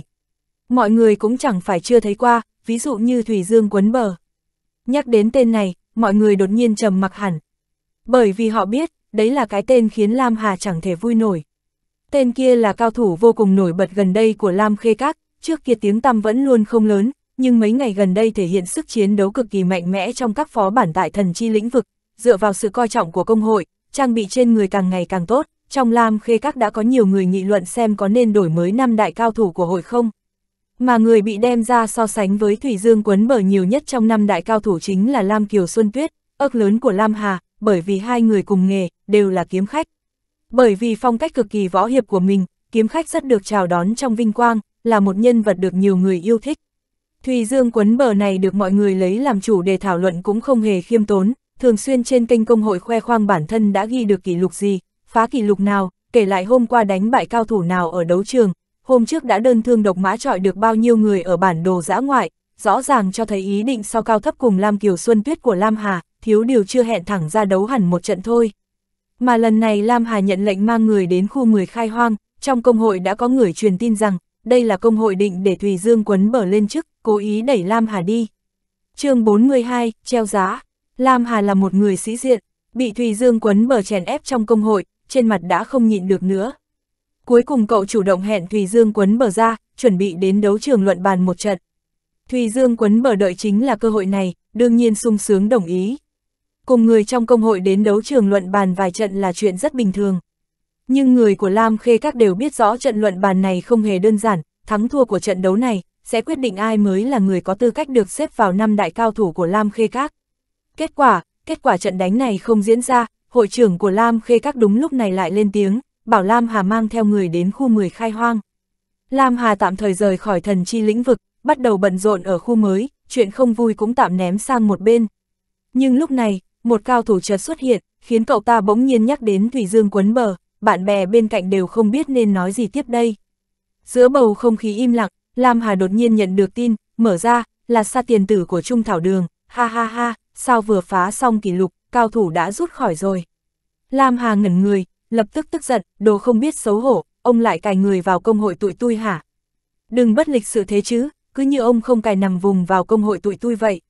Sa tiền tử nói, tôi còn chưa cài, Lam Hà hùng hồn đáp, cài người nằm vùng lẫn nhau quả thực là chuyện rất bình thường, chẳng qua mới ngày thứ hai ở khu mới, phía Lam Hà vẫn chưa chú ý đến chuyện này. Có ngon thì ông đừng có cài. Sa tiền tử gửi tin bảo, Lam Hà nhanh trí, trả lời, ha ha, nếu ông chủ động mời chào người của tụi tôi vào hội cũng chỉ có thể trách ông có mắt như mù. Sa tiền tử nhận được tin này cũng ngơ ngác, ý ông là gì? Lam Hà không đáp, thôi đi bố, tôi biết ông chỉ hù tôi, lão Lam à, đừng có xài mấy trò mèo này nữa, quá ngây thơ. Sa tiền tử nói, không rảnh chơi với ông nữa, đi luyện cấp đây. Lam Hà trả lời, Lam Hà bận việc mình, sa tiền tử ở bên này lại xoắn suýt lên. Nhận được tình báo, bảo quân Mạc Tiếu đã rút khỏi Lam Khê Các, sa tiền tử mừng rỡ, vừa chuẩn bị ra tay lôi kéo, vừa muốn gửi tin cười nhạo Lam Hà, không ngờ Lam Hà nói một câu quái gở thế kia, cứ như quân Mạc Tiếu là do cậu ta cố ý thả ra để hấp dẫn công hội nhà họ vậy. Sa tiền tử cảm thấy tám phần là Lam Hà cố ra vẻ huyền bí, nhưng lại không xác nhận chắc chắn. Đối với nằm vùng gì gì đấy, trong trò chơi không dễ phòng ngừa, quá dối rắm cũng chỉ tăng thêm phiền não, nhưng không giống với loại nhân vật đẳng cấp như quân Mạc Tiếu. Đây là đại cao thủ đấy, đến công hội nhất định sẽ được trọng dụng, không phải loại nhân vật chỉ treo tên ở hội cho có. Nhân vật thế này nếu đi làm nằm vùng, sẽ là một tai họa. Trong vinh quang vốn từng có một công hội mạnh không thua ba nhà khác, cũng đã vì nằm vùng mà ngã xuống. Lúc ấy vị cao thủ mà công hội kia coi trọng, lại chính là nằm vùng do công hội đối địch cử đến, cuối cùng thế lực của tên nằm vùng kia hoàn thiện, lộ ra nguyên hình, cuốn gói theo một đám người và vật tư rời khỏi công hội, khiến nguyên khí của công hội bị tổn thương nghiêm trọng.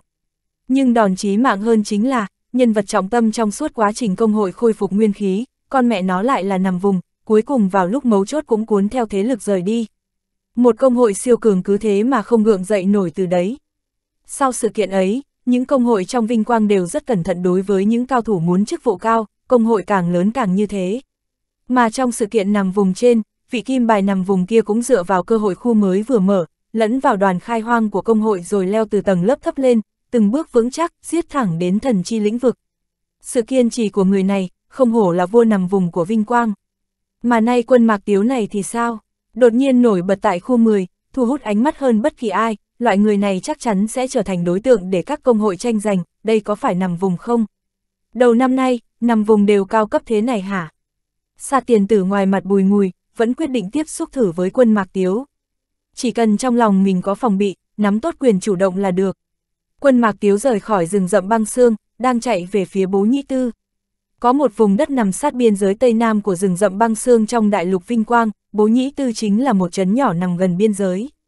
Bất luận ở khu nào, đây luôn là điểm dừng chân đầu tiên của người vừa mới rời khỏi thôn Tân Thủ, từ trước đến giờ đều rất náo nhiệt.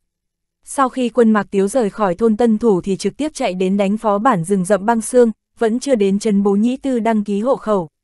Hộ khẩu ở đâu, sau khi nhân vật chết sẽ sống lại tại đấy, đây là quy tắc của Vinh Quang. Trần Bố Nhĩ Tư không lớn, nhưng đầy đủ mọi thứ. Diệp Tu để quân Mạc Tiếu đến thương khố trước, bỏ tơ nhện cường lực vừa mới đạt được vào. Nhìn trong dương chứa đồ có hơn 88 cái tơ nhện cường lực, Diệp Tu cười lắc đầu. Sau khi để lại 48 cái tơ nhện, những đồ vật thừa lại đều bị Diệp Tu đưa vào kho của hệ thống chỉnh sửa trang bị. Đang chuẩn bị đi vào hệ thống chỉnh sửa trang bị, đột nhiên tin nhắn nhảy lên, mở ra nhìn, là Điền Thất. Chúc mừng cao thủ đại ca, lúc đánh phó bản có nhìn thấy ông đổi mới kỷ lục của rừng rậm băng xương, lợi hại A.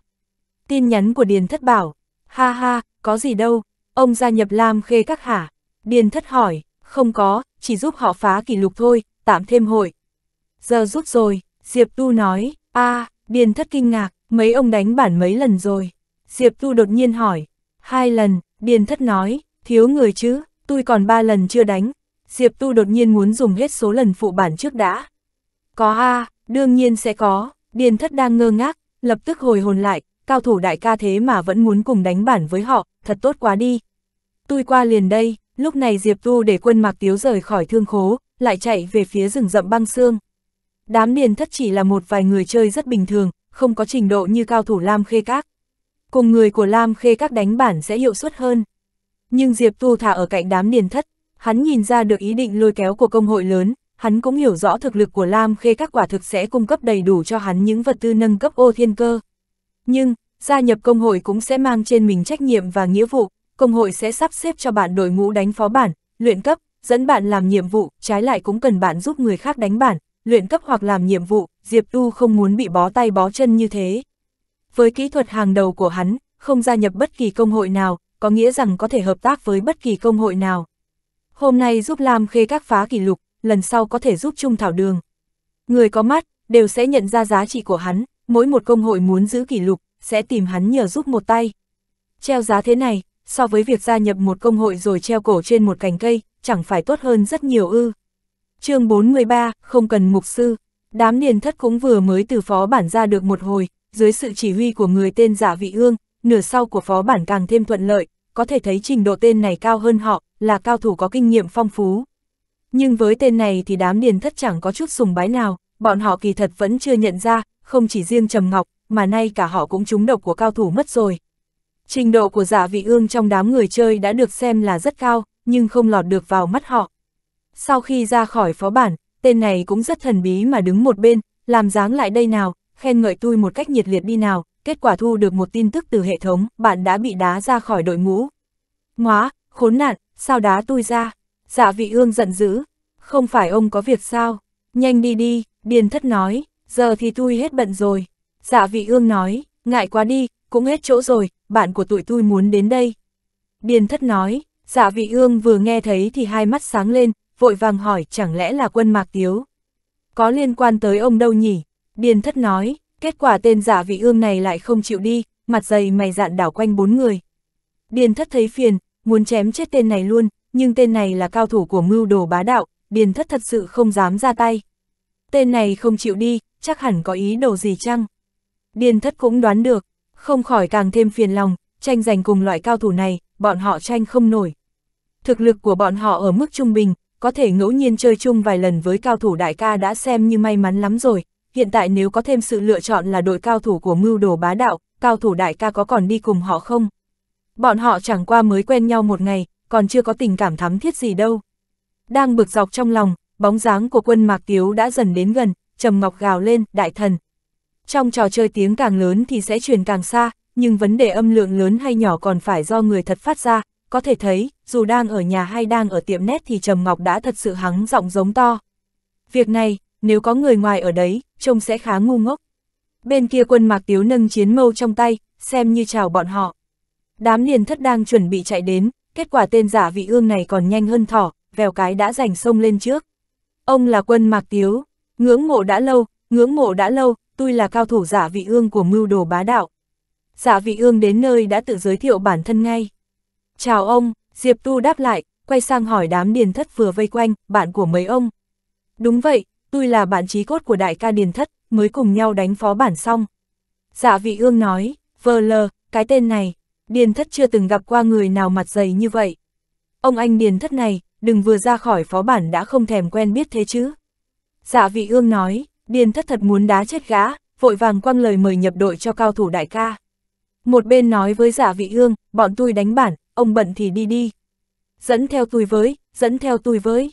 Giả vị ương không ngừng kêu lên, nhìn thế nào giống một cao thủ chứ. Ngay cả ma mới nhờ kéo theo ở thôn tân thủ cũng không thể không biết ngại như thế này, người ta toàn gõ chữ. Hết chỗ rồi, Điền Thất nói, em gái ngoan, nhường vị trí cho anh được không? Dạ vị ương tìm đúng điểm yếu của đội ngũ, mặt dày mặt dạn quấn quyết Trầm Ngọc. Trầm Ngọc là người mới, lại chưa thấy qua người mặt dày như vậy, nhất thời chân tay lóng ngóng, không biết phải làm gì, ngay lúc gần như muốn đồng ý với tên kia, Diệp Tu kịp thời ra tay. Ông là mục sư hả? Diệp Tu hỏi, đúng vậy, cao thủ, kỹ thuật rất tốt. Dạ vị ương vừa nói vừa lấy ra mặt dây chữ thập lóng lánh ánh bạc. Đám điền thất không nhận ra được thứ này, nhưng cũng biết chắc đấy là hàng tốt. Thập tự giá băng tinh, vũ khí cam.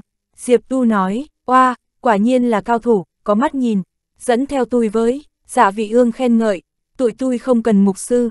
Diệp Tu nói, miểu sát, cái này là miểu sát. Sáu từ miểu sát, dạ vị ương đang cực kỳ ồn ào trong nháy mắt im luôn, đám điền thất thật sự càng sùng bái cao thủ đại ca. Bọn tôi không cần mục sư, thật khí phách, nếu đổi thành người bình thường, đứng trước cửa phó bản rừng rậm băng xương nói với kẻ khác, tụi tôi không cần mục sư, ngay cả điền thất cũng xem thường đám này khoác lác. Nhưng cao thủ đại ca không giống thế, cao thủ đại ca nói không cần mục sư, vậy đương nhiên không cần mục sư, mục sư qua chỗ khác chơi. Vào phó bản, vào phó bản, vào phó bản, điền thất lớn tiếng hô hào, không ai để ý tới giả vị ương, giả vị ương tựa như tượng điêu khắc, ngóng nhìn năm người lần lượt vào phó bản. Cao thủ đại ca, đánh thế nào? Điền thất trực tiếp chuyển chức đội trưởng cho quân Mạc Tiếu. Tôi dẫn quái, mọi người đánh hết sức là được. Diệp Tu nói, tuy điểm khó nhất của một đợt sóng xô là kéo quái tụ lại trên người MT, nhưng yêu cầu đối với những người khác cũng rất cao, đánh với mấy người này, Diệp Tu cũng không tin mình có thể làm được. Có cao thủ đại ca chấn thủ, đám điền thất cảm thấy đánh bản thật vui vẻ và thoải mái, chợt bạn học Trầm Ngọc có chút không hiểu chuyện, vậy mà dám hỏi cao thủ đại ca rằng, đại thần, chúng ta có thể đổi mới kỷ lục không? Câu hỏi này chẳng phải tự dước lấy nhục sao? Bọn họ phá không được kỷ lục, vấn đề không phải trên người cao thủ đại ca, mà trên người những kẻ không phải cao thủ như họ đây. Đám điền thất rất xấu hổ liền dành trả lời câu hỏi này thay người ta. Phó bản tiến triển thuận lợi, đám điền thất chọn bỏ qua để Diệp Tu lựa trước trang bị rất từ boss, nhưng nếu trang bị thuộc nghề của họ, Diệp Tu sẽ để họ chọn. Hai lần phó bản rất nhanh đã hoàn thành, không ra boss ẩn, cũng không ra món trang bị gây sửng sốt gì. Quân Mạc Tiếu còn một lần vào phó bản, đám điền thất lại chẳng còn lần nào, chỉ có thể tiếc nuối rời khỏi, kết quả vừa ra khỏi phó bản, lại thấy tên giả vị ương kia đang đứng bên ngoài, xong lượt đầu rõ ràng người này đã đi rồi. Nhìn thấy 5 người đi ra, giả vị ương lập tức chạy tới. Hết số lần hả, vẻ mặt vui cười hớn hở của thằng này, khiến điền thất rất muốn đấm gã. Cùng họ đánh phó bản, giả vị ương biết rõ bọn họ chỉ còn hai lần đánh phó bản. Tôi còn một lần, trái lại Diệp Tu rất thành thực, trùng hợp thế, tôi cũng còn một lần nè. dạ vị ương nói, thế à, Diệp Tu cười, còn trùng hợp hơn, ông xem bên tôi có ba người, đúng lúc cũng chỉ còn một lần, ông nói có khéo không? dạ vị ương nói, có ba người bước đến từ đám người bên ngoài phó bản, trên đỉnh đầu đều là danh hiệu công hội mưu đồ bá đạo. Thật khéo, Diệp Tu nói, nếu đã khéo thế rồi, không bằng chúng ta cùng nhau vào đi. Dạ vị ương bảo, rồi tiện thể phá luôn kỷ lục phải không? Diệp Tu nói, đúng đó đúng đó, dạ vị ương mừng rỡ, muốn phá kỷ lục, có hai điều kiện. Diệp Tu nói, ông nói, thứ nhất, phải thu phí. Diệp Tu nói, a cái này thương lượng được. Dạ vị ương nói, còn cái khác thì sao? Không cần mục sư, Diệp Tu cười cười nói. chương 44, thu phí. Ha ha ha ha, đám điền thất cười đến khoa trương, trước đấy còn chê Trầm Ngọc gọi đại thần trông khá ngu ngốc, tiếng cười của họ lúc này đã đạt đến cảnh giới người ngoài vừa nghe sẽ tưởng lũ trốn chạy. Rất nhiều người chơi bên ngoài phó bản khi nghe thấy tiếng cười đều nhộn nhịp chuyển góc nhìn sang, kết quả thấy một người tên giả vị ương đang điên cuồng spam hơn 20 cái biểu tượng mặt nổ thành cho trong khung trò chuyện. Xảy ra chuyện gì, người chơi hỏi nhau, nhưng chẳng ai biết, vì vậy mọi người từng ly từng tí điều khiển nhân vật đi sát về bên đó, dự định nghe ngóng. sau đó liền nghe thấy cái tên vừa spam dữ dội giả vị ương lúc nãy cứ như đang nghiến răng nói, vậy ông muốn phân phối chức nghiệp thế nào? Ba pháp sư nguyên tố hệ hỏa có công kích pháp thuật phải trên 430, còn có một ma đạo học giả trên cấp 22 có tu lỗ lỗ thăng theo cấp và biết áo choàng bóng đêm. Kỹ thuật tốt, thao tác phải ổn định, không cho lỗi. Diệp Tu nói, giả vị ương ngẩn ra, mang theo ba pháp sư, đây thật sự là một đội ngũ DPS mạnh bạo đến tận cùng A. Pháp sư phòng thủ thấp máu lại bèo bọt, mà đạo học giả cũng chỉ mặc giáp ra, mạnh hơn chút mà thôi.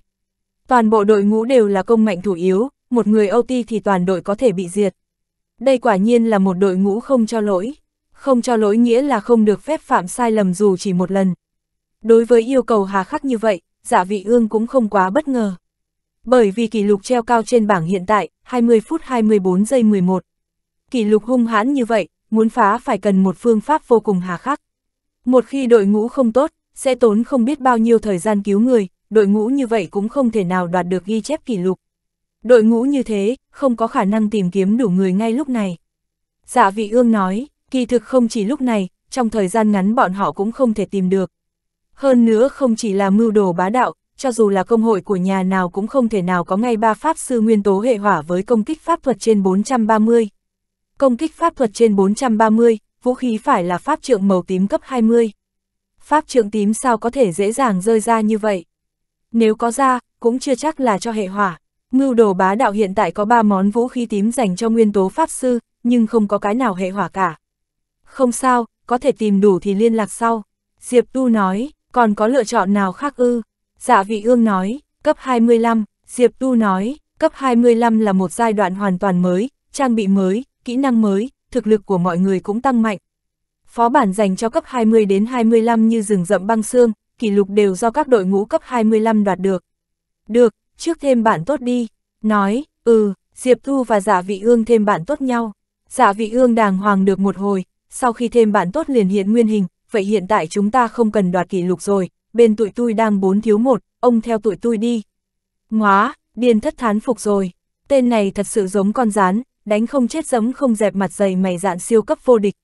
Được, bên này Diệp Tu cũng đồng ý, vậy thu phí thấp lại một chút. Cái này cũng muốn thu phí, lẽ nào lúc ông đánh với đám kia cũng thu phí hả? Dạ vị ương nói, không thu phí, thế nhưng trang bị rơi đều theo phân phối của đội trưởng, tôi là đội trưởng. Diệp Tu nói, chẳng sao cả, tụi tôi cũng thế đi. Dạ vị ương vui vẻ đáp, điền thất đứng cạnh nghe thấy liền không vui. Đội của bọn họ quả thật ưu tiên quyền phân phối trang bị cho cao thủ đại cao, nhưng họ biết cao thủ đại cao là một người hiền hậu, từ đó đến giờ chưa từng tranh giành những món phù hợp với bọn họ.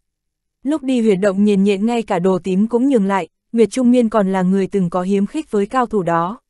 Ông nên xem kỹ đi, tôi vẫn chưa chuyển nghề, trang bị gì tôi cũng muốn hết. Diệp Tu nói, chỉ vài ba món trang bị thôi mà, đi nào đi nào, xuất phát.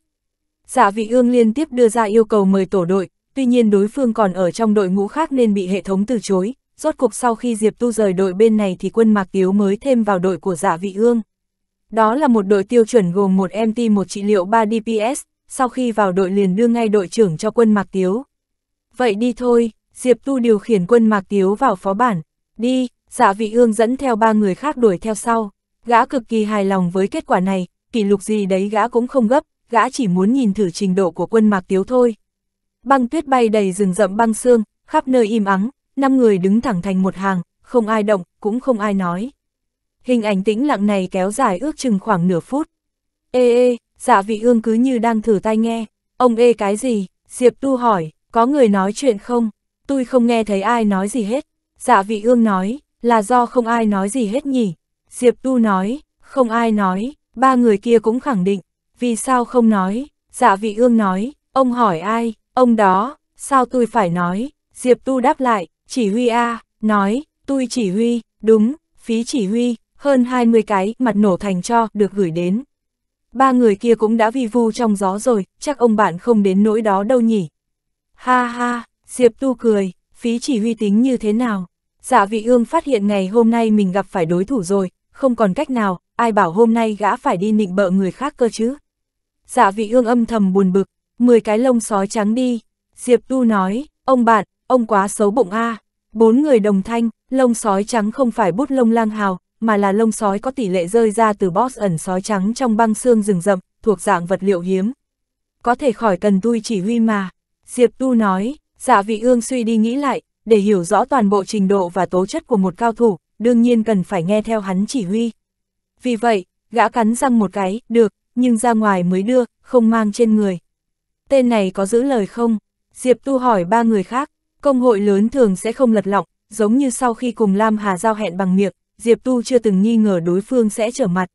Nhưng trình độ mặt dày của tên giả vị ương này thật không thể tưởng tượng nổi, nhất định phải thể hiện sự hoài nghi của mình một chút. Chắc chắn chắc chắn, ba tên kia vội nói. Vậy được rồi, Diệp Tu đồng ý, nhanh lên đi, giả vị ương nói, được, MT kéo quái, DPS lên, trị liệu chú ý MT. Diệp Tu chỉ huy, bốn người ngơ ngác, lại rơi vào trạng thái tĩnh lặng trong nửa phút. Hết rồi, giả vị ương hỏi, đương nhiên, đây mà là chỉ huy hả? Dạ vị ương sụp đổ, mấy ông đều là cao thủ, mọi người biết phải làm gì cả mà. Diệp Tu nói, dạ vị ương phát hiện bản thân cứ như bị lừa, nếu làm theo đấu pháp từng bước một, đội của họ vốn chẳng cần ai chỉ huy, mọi người tự hành động là được. Không được, không thể để uổng phí chỉ huy 10 cái bạch lang hào. Không đúng không đúng, thế thì không tính. Dạ vị ương kêu, ông chỉ huy từng bước đi. Được rồi, Diệp Tu nói, kỵ sĩ, đi dụ hai con quỷ lùn hướng 10 giờ. Có ba loại khả năng, nếu hai con đều là đánh xa, dùng tốc độ nhanh nhất để tiếp cận, khi bị chúng nó đánh, dùng lạc phượng trùy, có thể vừa nhảy khỏi công kích vừa tạo chấn động lật ngã quái, tiếp đấy thì công kích gần nó, kéo ổn thù hận một trong hai con trước, nếu một đánh xa một đánh gần, dùng tinh lạc trùy cắt ngang tấn công của con đánh xa, con đánh gần tới thì dùng đánh lùi đẩy nó ra, ưu tiên ổn định thù hận của con đánh xa, nếu cả hai con đều đánh gần, ra lạc phượng trùy rồi đẩy văng một con bằng đánh lùi. Kéo ổn thù hận con còn lại, hiểu chưa, kỵ sĩ rơi lệ đầy mặt, chỉ huy như vậy, lẽ nào coi tôi là thằng ngốc hả?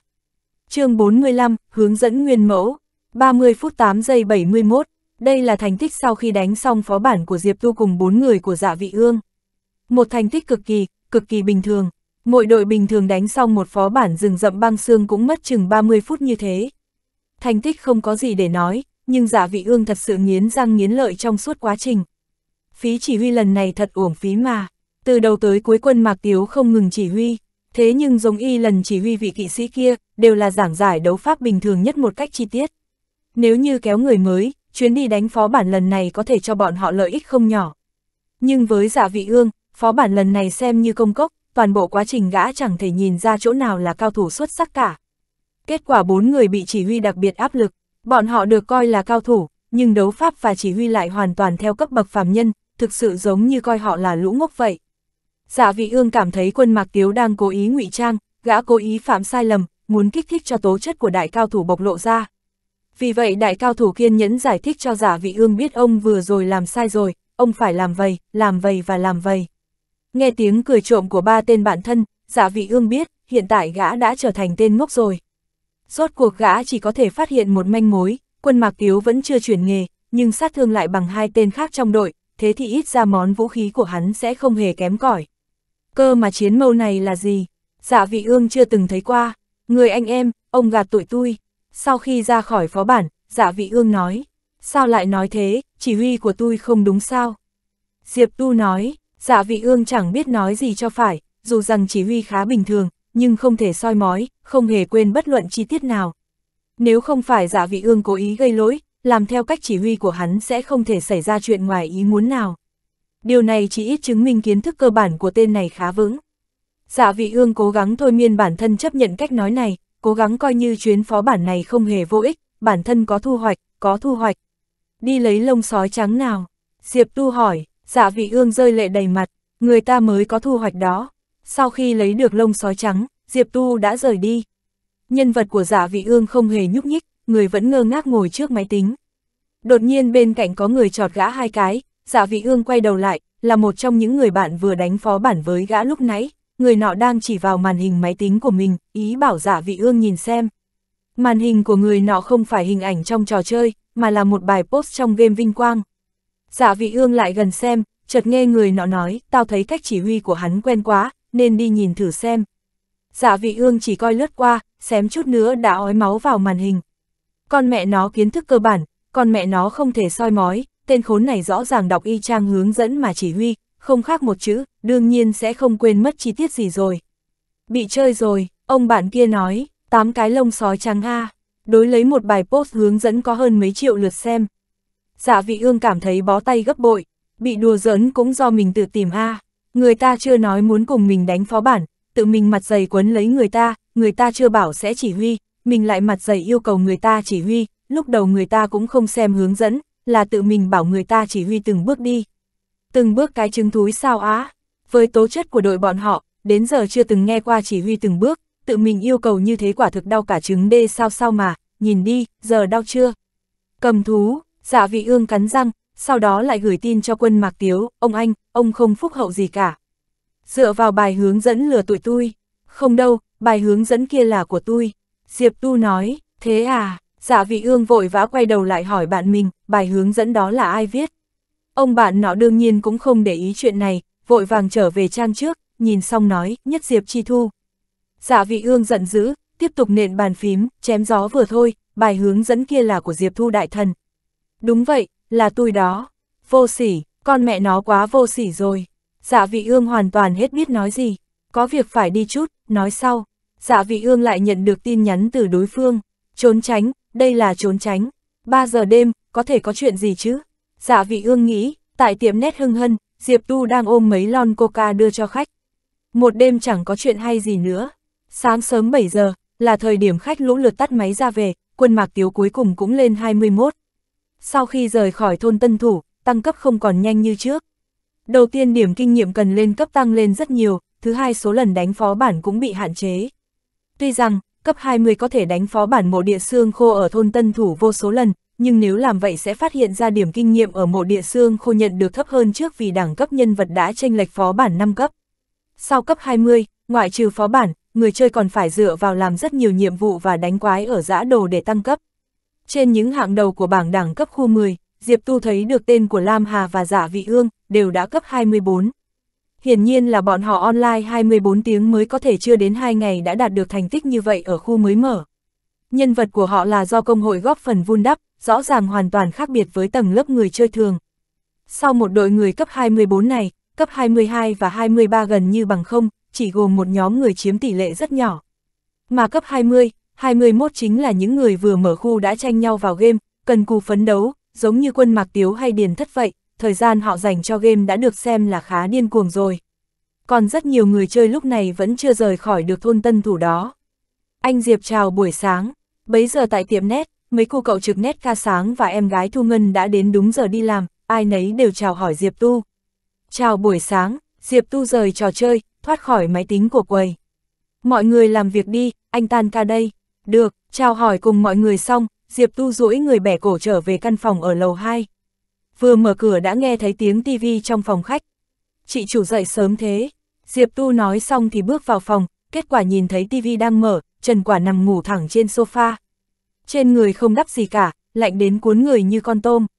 Chị chủ, về phòng ngủ đi.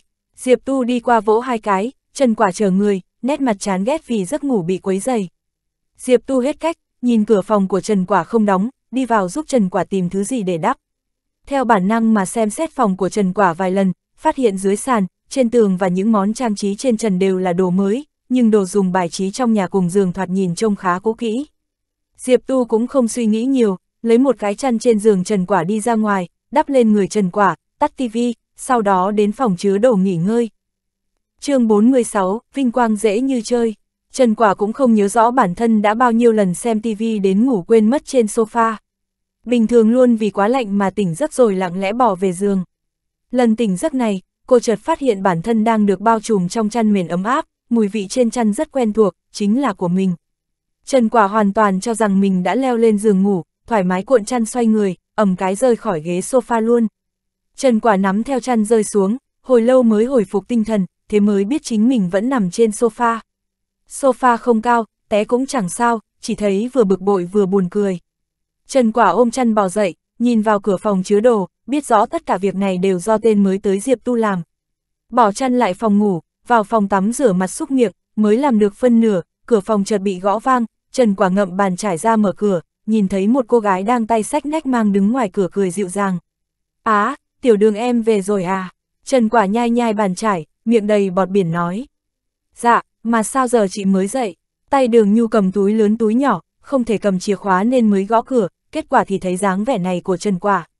Tối qua ngủ trễ mà, miệng Trần Quả đầy bọt vẫn tiếp tục muốn tán gẫu, đánh răng xong trước đã nào. Sau khi đường nhu vào cửa thì tiện tay đặt đồ xuống đất, đẩy Trần Quả vào phòng tắm. Nghe bảo chị mới tuyển người mới, Trần Quả đánh răng, đường nhu tựa người vào cửa, nhìn vào cánh cửa phòng chứa đồ, nghiêng đầu hỏi Trần Quả. Đúng a đám kia nói với em rồi. Ừ, tạm thời chưa có chỗ ở, chị để cậu ta ở đấy trước.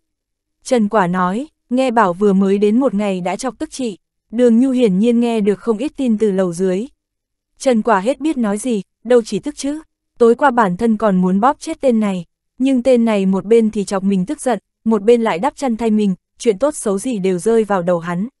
Sao thế? Đường Nhu nhìn thấy Trần Quả bất lực ngơ ngẩn bên kia. Không có gì, cậu ta chơi vinh quang rất giỏi. Trần Quả nói, giỏi bao nhiêu, giống chị ư, đường Nhu cười, con nhóc chết tiệt này.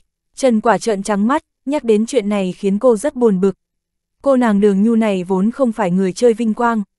Trần Quả tính thử bồi dưỡng cô ấy chơi cùng mình, vừa lấy trục yên hà PK với người ta ở đấu trường, vừa giới thiệu điểm hấp dẫn của trò chơi với đường Nhu. Một lòng hai việc, trận đấy Trần Quả bị người ta ngược đãi đến thảm thương, chẳng qua vào lúc này đường Nhu chợt tỏ vẻ để cô nàng thử xem, khiến Trần Quả cảm thấy vui vẻ. Trận đầu, đường Nhu cũng bị người ngược đến thảm thương, lập tức hỏi Trần Quả một vài chi tiết về thao tác. Trận thứ hai, vẫn thua, thế là Trần Quả chủ động giới thiệu một vài đấu pháp mà đối thủ trước mắt có thể chọn dùng.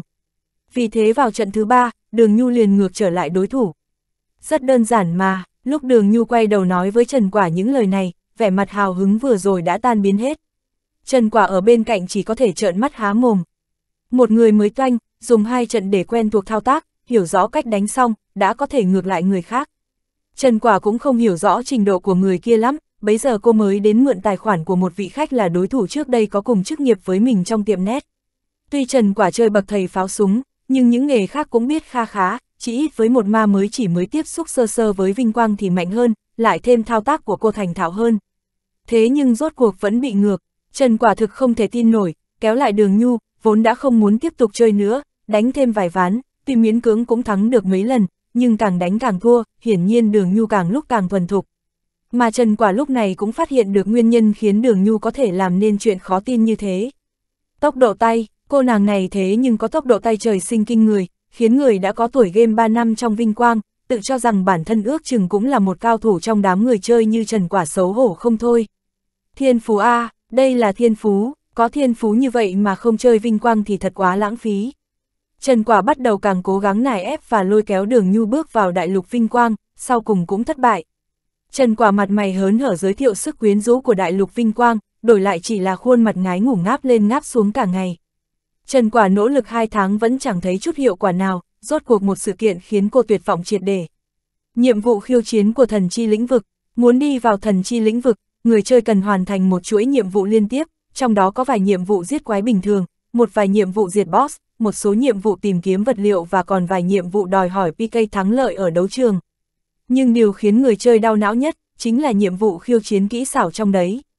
Nhiệm vụ khiêu chiến kỹ xảo không chỉ yêu cầu đánh bại đối thủ, còn yêu cầu trong quá trình đánh bại đối thủ phải đạt được rất nhiều điều kiện thao tác của hệ thống. Như số lần liên kích, tổng lượng sát thương công kích sau lưng, số lần truy kích trên không vân vân. Có biết bao người đã mắc kẹt tại giai đoạn này, sống chết mãi không qua nổi. Trần Quả cũng vậy, kẹt cứng tại nhiệm vụ khiêu chiến kỹ xảo, làm thế nào cũng không đạt được yêu cầu. Kết quả, Đường Nhu cầm tài khoản của cô, sau vài ngày nghiên cứu, giúp cô hoàn thành nhiệm vụ khiêu chiến kỹ xảo của thần chi lĩnh vực. Trần Quả hoàn toàn hết lời để nói rồi, cô đã hiểu tại sao đường nhu mãi không có hứng thú với trò này, bởi vì những thứ cần cố gắng khắc khổ luyện tập mới đạt được trong mắt người khác lại trở nên dễ như chơi đối với cô nàng.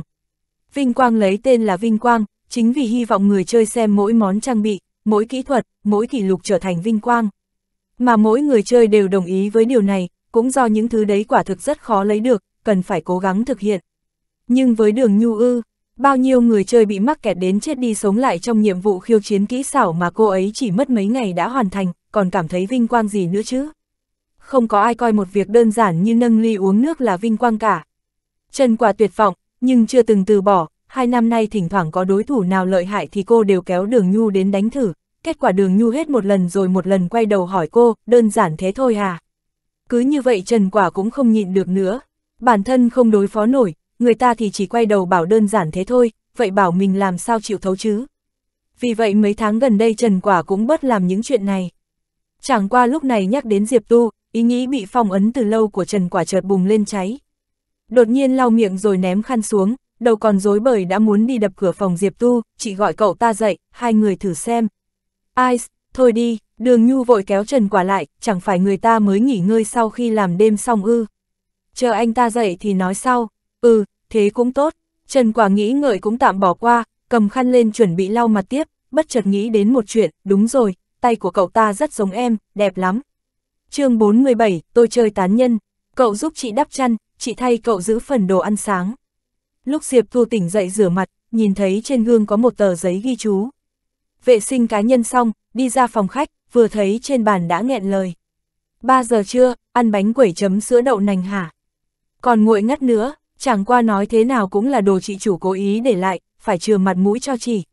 Diệp Tu cầm bánh quẩy bỏ vào miệng, ngậm nó ra khỏi cửa. Tiệm nét vẫn tiếp tục vì vinh quang mở khu mới mà trở nên náo nhiệt, song hưng hân cũng đủ rộng lớn, rất hiếm khi nào người ngồi đầy máy đến không còn chỗ trống. Diệp Tu dạo qua một vòng, tìm kiếm chỗ trống ở khu hút thuốc, kết quả vừa sờ túi mới phát hiện không còn thuốc lá, đây còn đau khổ hơn cả việc ăn phải bánh quẩy nguội ngắt ấy. Đau khổ hơn chính là, thuốc đã hết, tiền không còn, sống làm sao? Diệp Tu cảm thấy bản thân nên xin chị chủ ứng trước tiền lương, lý do là lo chuyện ăn ở, nhưng bản thân hắn ăn rất ít ác, bình quân một ngày chỉ ăn hai bữa, tiết kiệm được không biết bao nhiêu là tiền để mua thuốc hút. Chẳng qua nghĩ đến sự chán ghét của Trần Quả đối với thuốc lá, Diệp Tu cảm thấy suy nghĩ của mình sợ rằng khó bề thực hiện. Đang miên man suy nghĩ, phía sau có người đẩy hắn, vội vã quay đầu lại. Người đẩy Diệp Tu là Trần Quả, Diệp Tu vừa quay đầu, bánh quẩy trong miệng xém chút đã dính lên mặt Trần Quả. Trần Quả nổi giận, bắt đầu trách móc, thuốc lá cậu cũng ngậm, bánh quẩy cậu cũng ngậm, còn có gì cậu không thể ngậm hả? Cậu không thể dùng tay cầm được hả? Vừa nói đến đây, Trần Quả chợt nghĩ đến đôi tay đẹp đẽ của Diệp Tu. Tay đẹp như vậy mà bị dính mùi khi cầm thuốc, bị bám dầu khi cầm bánh quẩy, vậy quá đáng tiếc rồi. Chẳng lẽ bảo, ngậm thuốc với ngậm bánh quẩy là đúng ư? Ô địch, suy nghĩ bậy bạ gì thế này? Trần Quả lắc đầu, chừng Diệp Tu nói, đi theo chị. Diệp Tu đi theo Trần Quả về phía trước quầy, đường Nhu lúc này đang ngồi tại quầy, nhìn thấy Trần Quả dẫn Diệp Tu đến, đã đứng dậy trước, mỉm cười.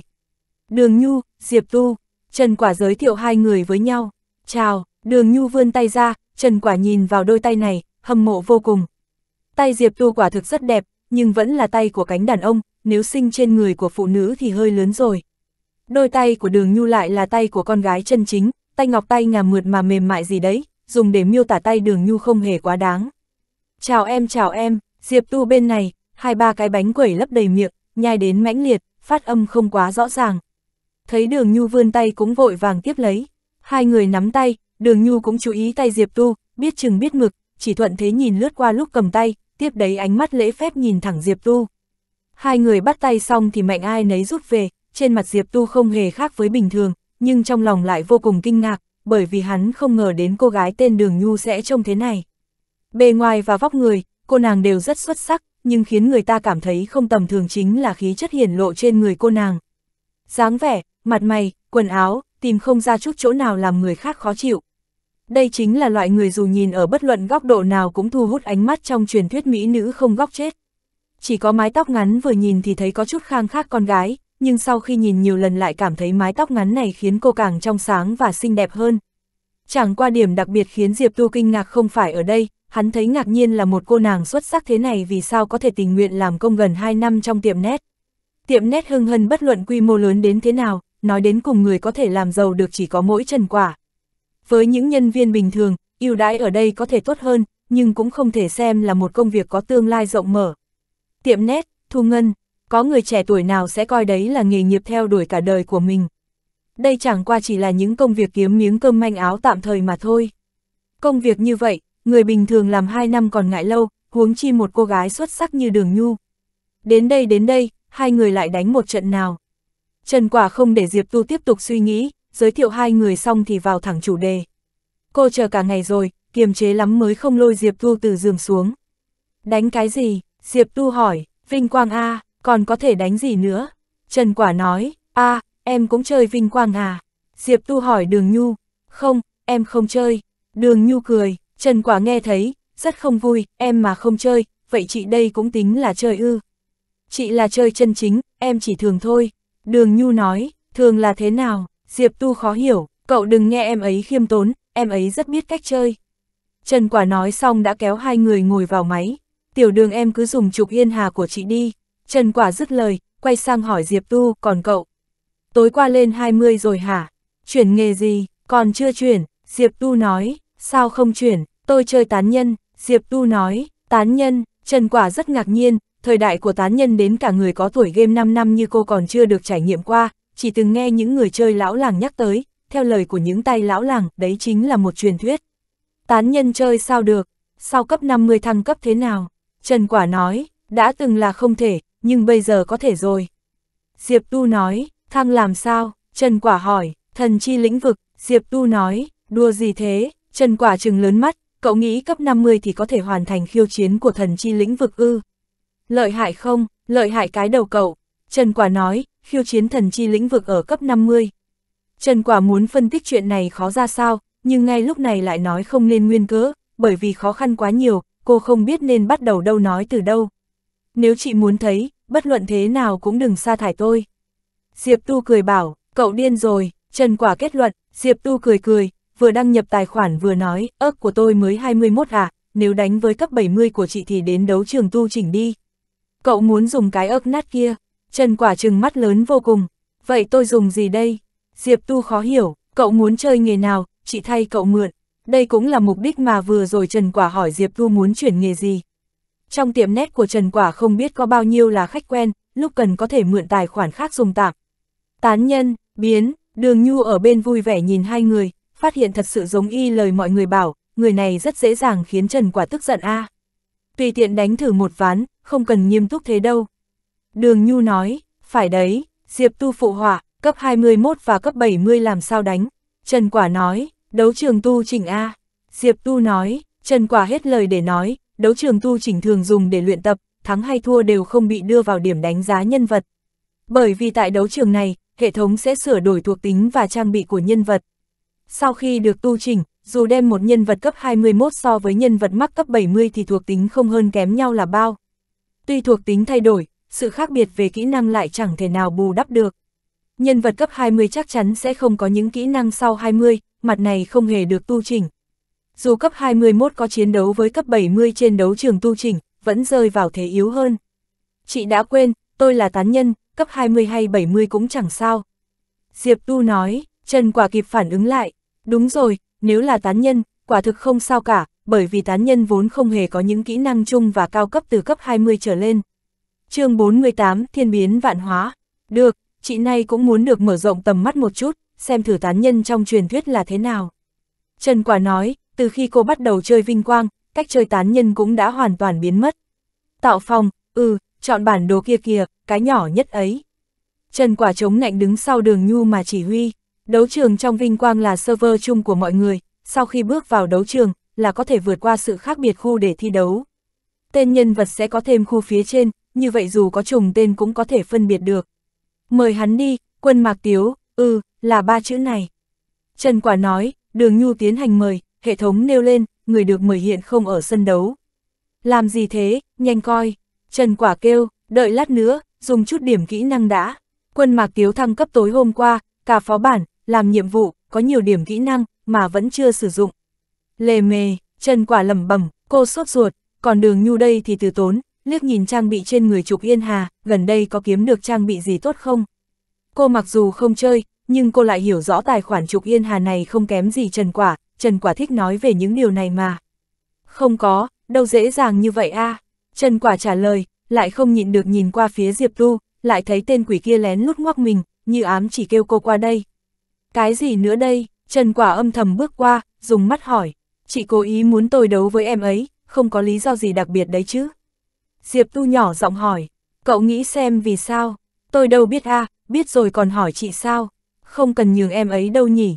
Diệp Tu nói, nhường, cậu có thể đánh thắng em ấy rồi hãy nói. Trần Quả nói, ừ ừ, Diệp Tu gật đầu, đem quân Mạc Tiếu tiến vào đấu trường, được rồi. Đường Nhu mời, Diệp Tu tiếp nhận, Trần Quả lại chạy về phía sau đường Nhu. Kết quả thấy Diệp Tu không vội vã chuẩn bị, quay cổ nhìn về phía bên này mà hỏi, cứ như vậy đấu sao? Có muốn chơi đấu vui có thưởng không? Thưởng cái gì cơ? Trần Quả không giải thích được, ví dụ như cược gói thuốc lá và vân vân. Diệp Tu đề nghị, Trần Quả thiếu chút nữa tức chết, vừa muốn giống, Đường Nhu đã vui vẻ nói, được. Nhưng em không biết hút thuốc, cũng không có thuốc lá, chúng ta cược 100 đồng với nhau được không? Ok ok, Diệp Tu vui vẻ, vậy quả quả làm chứng, 100 đồng của em đây. Đường Nhu móc 100 đồng đưa cho Trần Quả. Hai người nghiêm túc à? Trần Quả vô cùng kinh ngạc, tùy tiện chơi một chút thôi. Đường Nhu cười, được, Trần Quả thoải mái nhận 100 đồng tiền cược của Đường Nhu, nhìn về phía Diệp Tu của cậu đâu. Tôi, ừ, cái này, chỗ tôi có một gói thuốc lá quý báu. Cậu nghèo đến điên rồi à? Trần Quả thật sự vừa bực mình vừa buồn cười, cũng móc 100 đồng ra đặt xuống, chị đây cho cậu mượn đấy, trừ bớt trong tiền lương. Được được, trả lại liền cho chị mà. Diệp Tu nói, rất tự tin, bắt đầu đi a.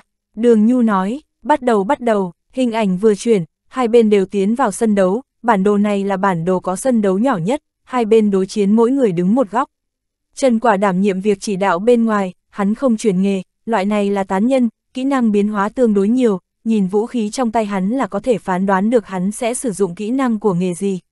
Ưm, đường nhu ứng tiếng, mặc dù không chính thức chơi vinh quang, nhưng hơn một năm qua bị Trần Quả kéo đi PK không ít, cô cũng biết được cơ bản về chức nghiệp của các nhân vật. Trong tay anh ta là vũ khí gì thế? Đường nhu chỉ màn hình, cái này, cái này, Trần Quả nhìn hồi lâu, không nhận ra được, trực tiếp hỏi, vũ khí trong tay cậu là gì thế? Chơi xấu nha, Diệp Tu nói, còn dám hỏi thẳng nữa. Em thấy như cây dù đi mưa ấy. Đường Nhu điều khiển Trục Yên Hà nhảy lên trước vài bước để kéo gần lại tầm nhìn rồi nói. Cây dù, không có loại vũ khí này, là cây trổi sao? Trần Quả cũng nhòi người nhìn. Tôi tới đây, Diệp Tu vừa nói xong đã cho quân Mạc Tiếu chạy tới, xông thẳng về phía Trục Yên Hà. Thao tác của đường Nhu quả nhiên cực nhanh, quân Mạc Tiếu vừa động thì cô đã nhấp chuột bắn ngay một pháo chuẩn xác đến, nhưng chỉ thấy trước mắt sáng lòa, quân Mạc Tiếu đang xông tới liền nhanh chóng di động tránh khỏi một pháo kia. Đứng bên quan sát, Trần Quả cũng biết tên của kỹ thuật này, lay động rích rắc, nguyên lý thao tác đơn giản, nhưng trong lúc thực chiến sẽ rất khó nắm được kỹ thuật.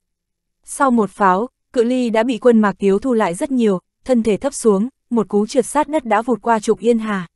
Gian xảo A, Trần Quả cảm khái, trượt mặc dù thuộc hệ xạ thủ, nhưng là một kỹ năng thể thuật, cho nên có dùng vũ khí gì thì cũng không sao cả, một chiêu công kích này vẫn không làm lộ ra thứ đồ chơi hắn cầm trên tay là gì.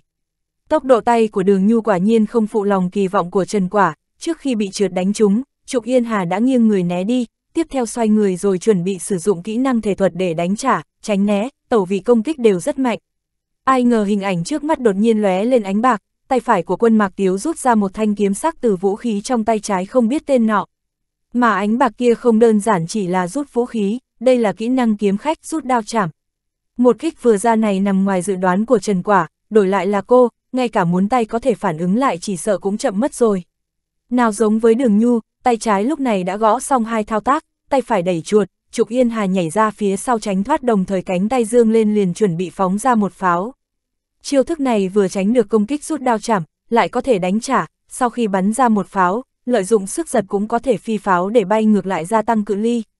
Quả thực chính là nhất cử tam tiện, Trần Quả đang muốn khen tốt, nhưng không ngờ sau khi quân Mạc Tiếu dùng xong một chiêu rút đao chảm đã tra luôn kiếm vào vỏ từ lâu, thuận tay cầm kiếm đã vào vỏ từ trên không trung đuổi đánh trục Yên Hà, lúc bấy giờ đã vung đến trước mặt rồi. Sự biến hóa nhanh hơn này, Trần Quả đã chẳng còn xem xét tới việc có kiếm khách nhà ai lại dùng vỏ kiếm đập người không nữa, chỉ cảm thấy cú đập này vẫn cách trục Yên Hà một khoảng nhỏ, nhưng không ngờ thứ trong tay quân Mạc Tiếu đột nhiên bung mở như cái dù, trong phút chốc đã gấp ngược, nan dù úp lại, phía trên đỉnh dù sau khi được gập lại, trông như một đầu giáo cực lớn, thoáng cái đã đâm vào người Trục Yên Hà. Liền ngày sau đó đã thấy quân Mạc Tiếu nâng tay, một giáo này kéo theo Trục Yên Hà vẽ thành một vòng bán nguyệt, ném Trục Yên Hà ngã chồng vó xuống đất. Trần Quả kinh ngạc, bởi vì chiêu này không phải là một kỹ năng công kích thường, kỹ năng này gọi là viên vũ côn, thuộc chiêu thức của Pháp Sư chiến đấu hệ Pháp Sư. Tán nhân có kỹ năng này không đáng ngạc nhiên, nhưng vấn đề là quân Mạc Tiếu vừa dùng cái thứ kia thi triển rút đao chạm, ứng với vũ khí hệ kiếm sĩ, thế nào vừa đảo mắt liền biến thành chiến mâu hệ pháp sư. Đường Nhu trong lòng cũng ngạc nhiên nhưng là ở phương diện thao tác, phải hiệp giao thủ, thao tác của mình thế mà chậm đi một chút, đây là chuyện khiến cô bất ngờ.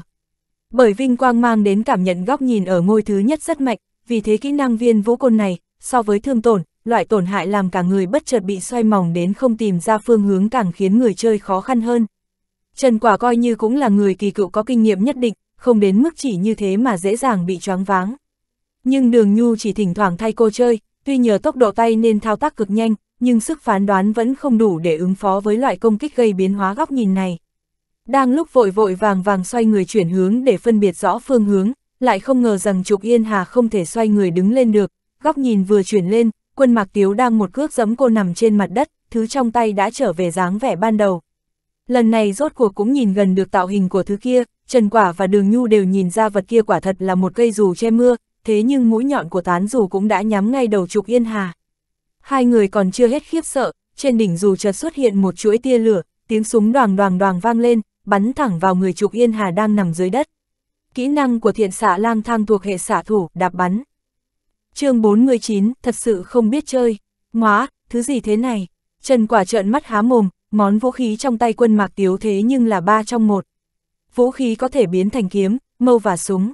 So với sự kinh hãi của Trần Quả, người không quá hiểu vinh quang như đường nhu trái lại không bị dọa lắm, ngón tay bấm cực nhanh, Trục Yên Hà tung một cú đá lốc xoáy.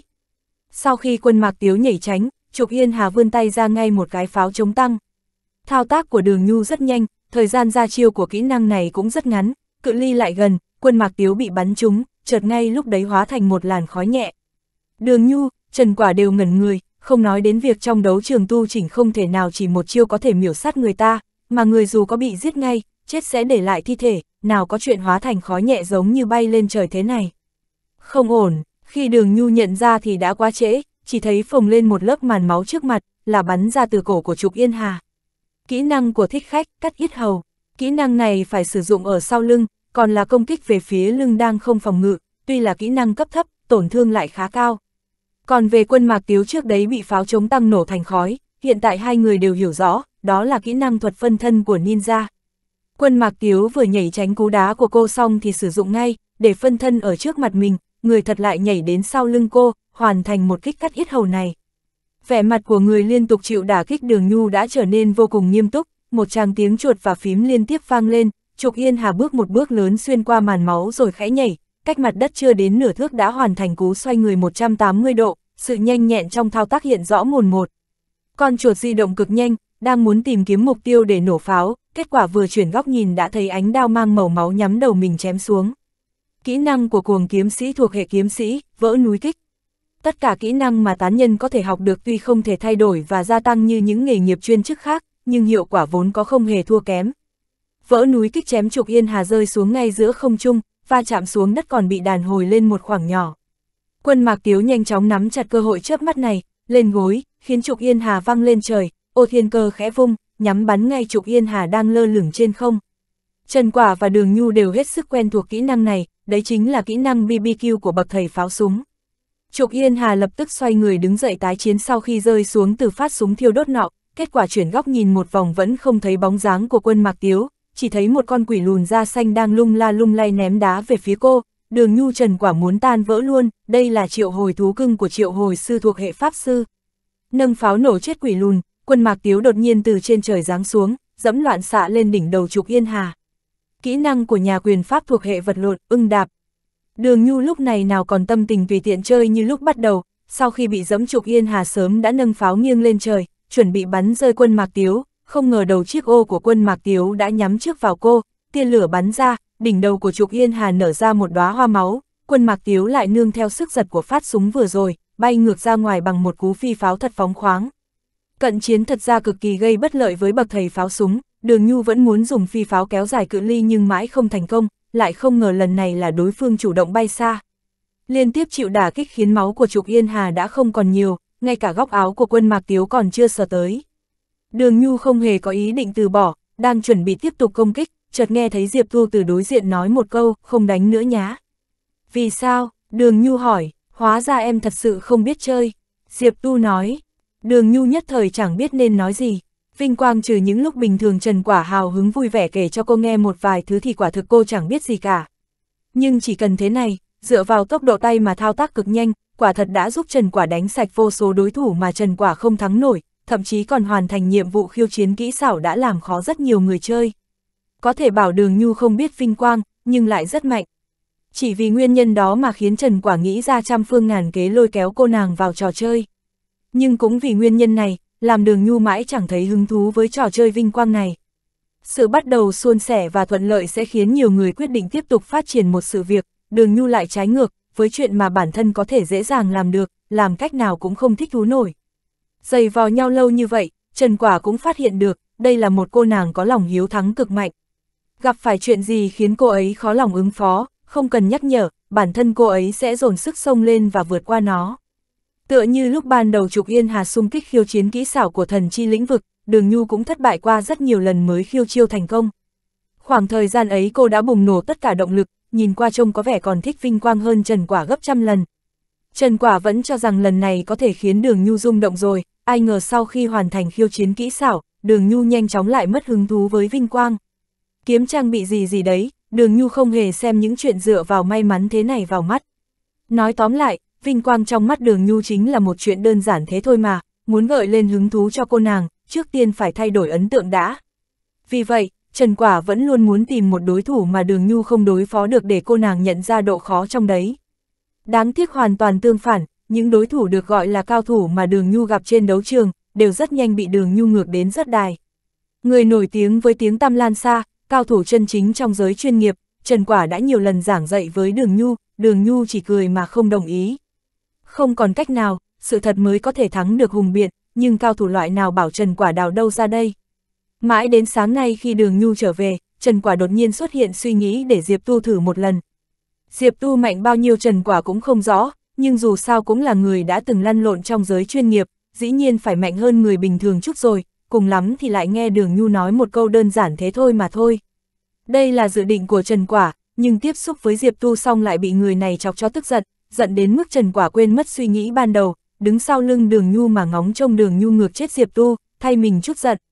Đến tận lúc Đường Nhu bị đánh đến không trả đòn nổi, thậm chí đến khi Diệp Tu nói cô nàng không biết chơi, Trần Quả mới phục hồi tinh thần. Không biết chơi, Trần Quả cảm thấy lời đánh giá này hơi quá, thế này mà không được tính là biết chơi, vậy thì vô số bại tướng dưới tay Đường Nhu tính là gì đây?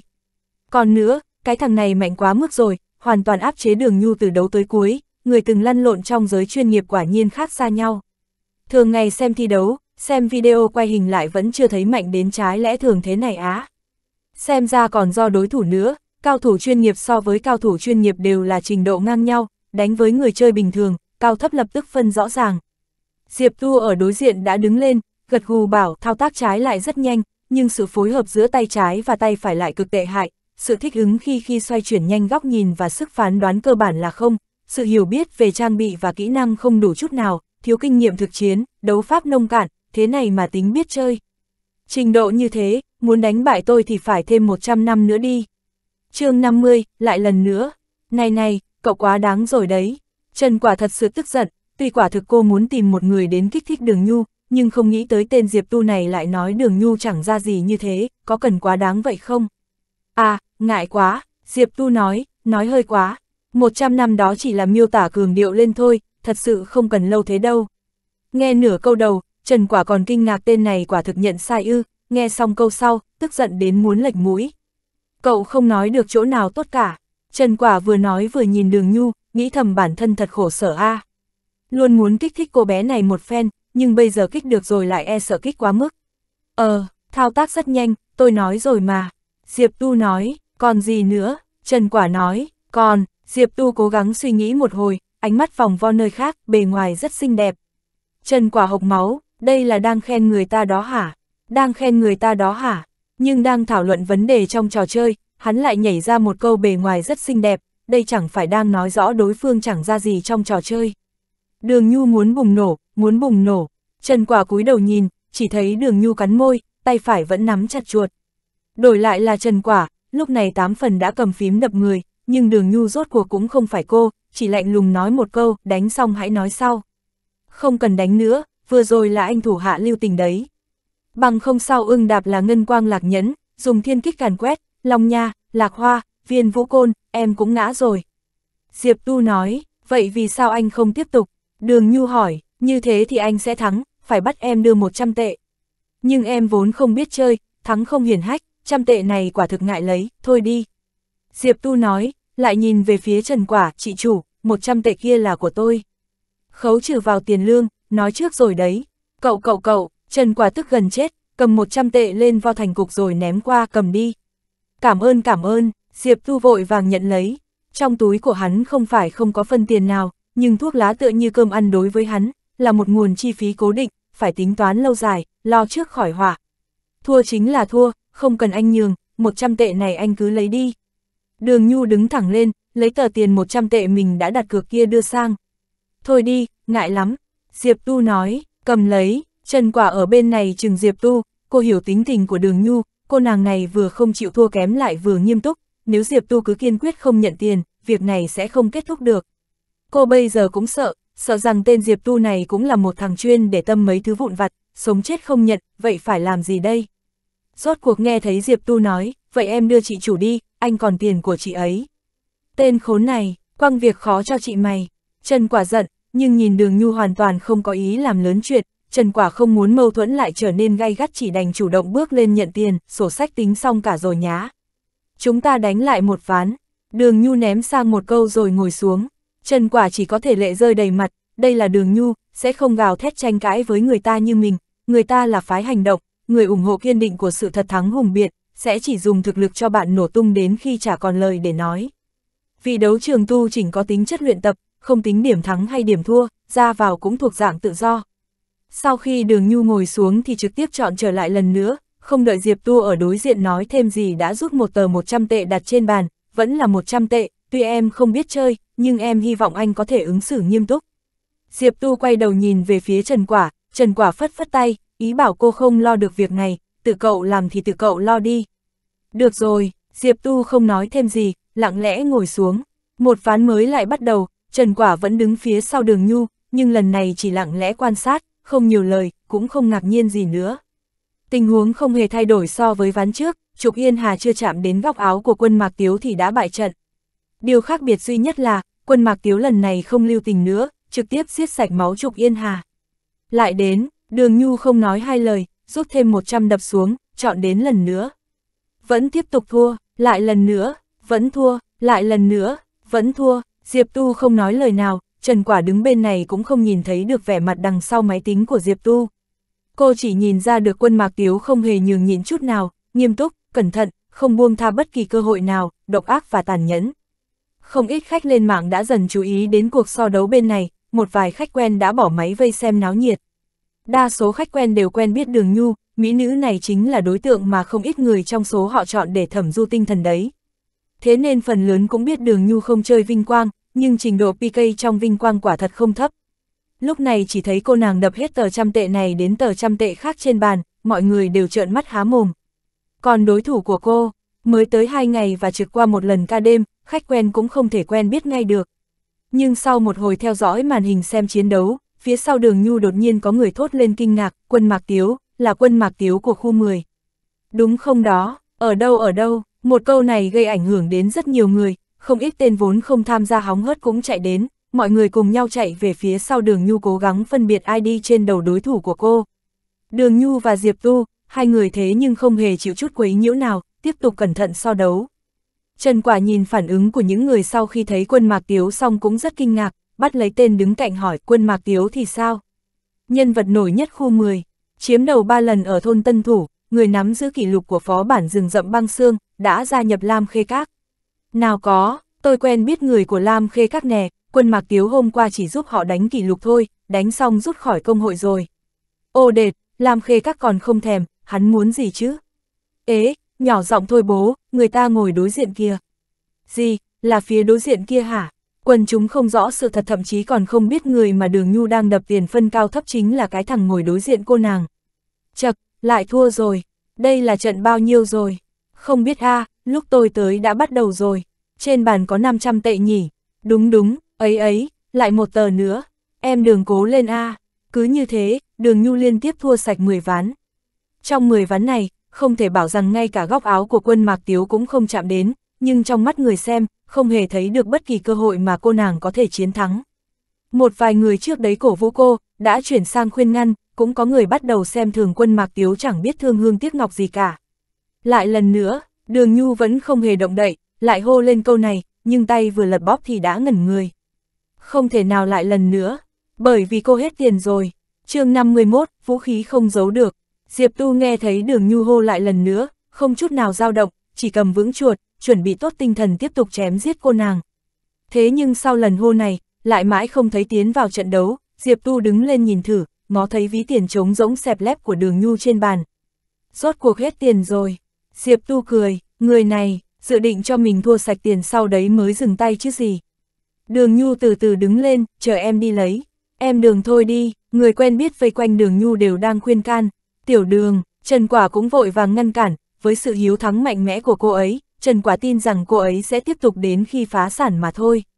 Đáng ghét nhất chính là tên Diệp Tu kia, thắng cũng không cho người ta bậc thang để leo xuống nữa. Kết quả nghe thấy Diệp Tu phía đối diện nói thôi đi. Cứ hữu dũng vô mưu thế này không thú vị gì cả. Còn chế diễu nữa, Trần Quả giận, quay người muốn chỉ trích, thì nghe Diệp Tu tiếp tục nói, học thử chút đi, ít nhất phải làm rõ tranh lệch giữa em và anh là ở đâu, lớn bao nhiêu.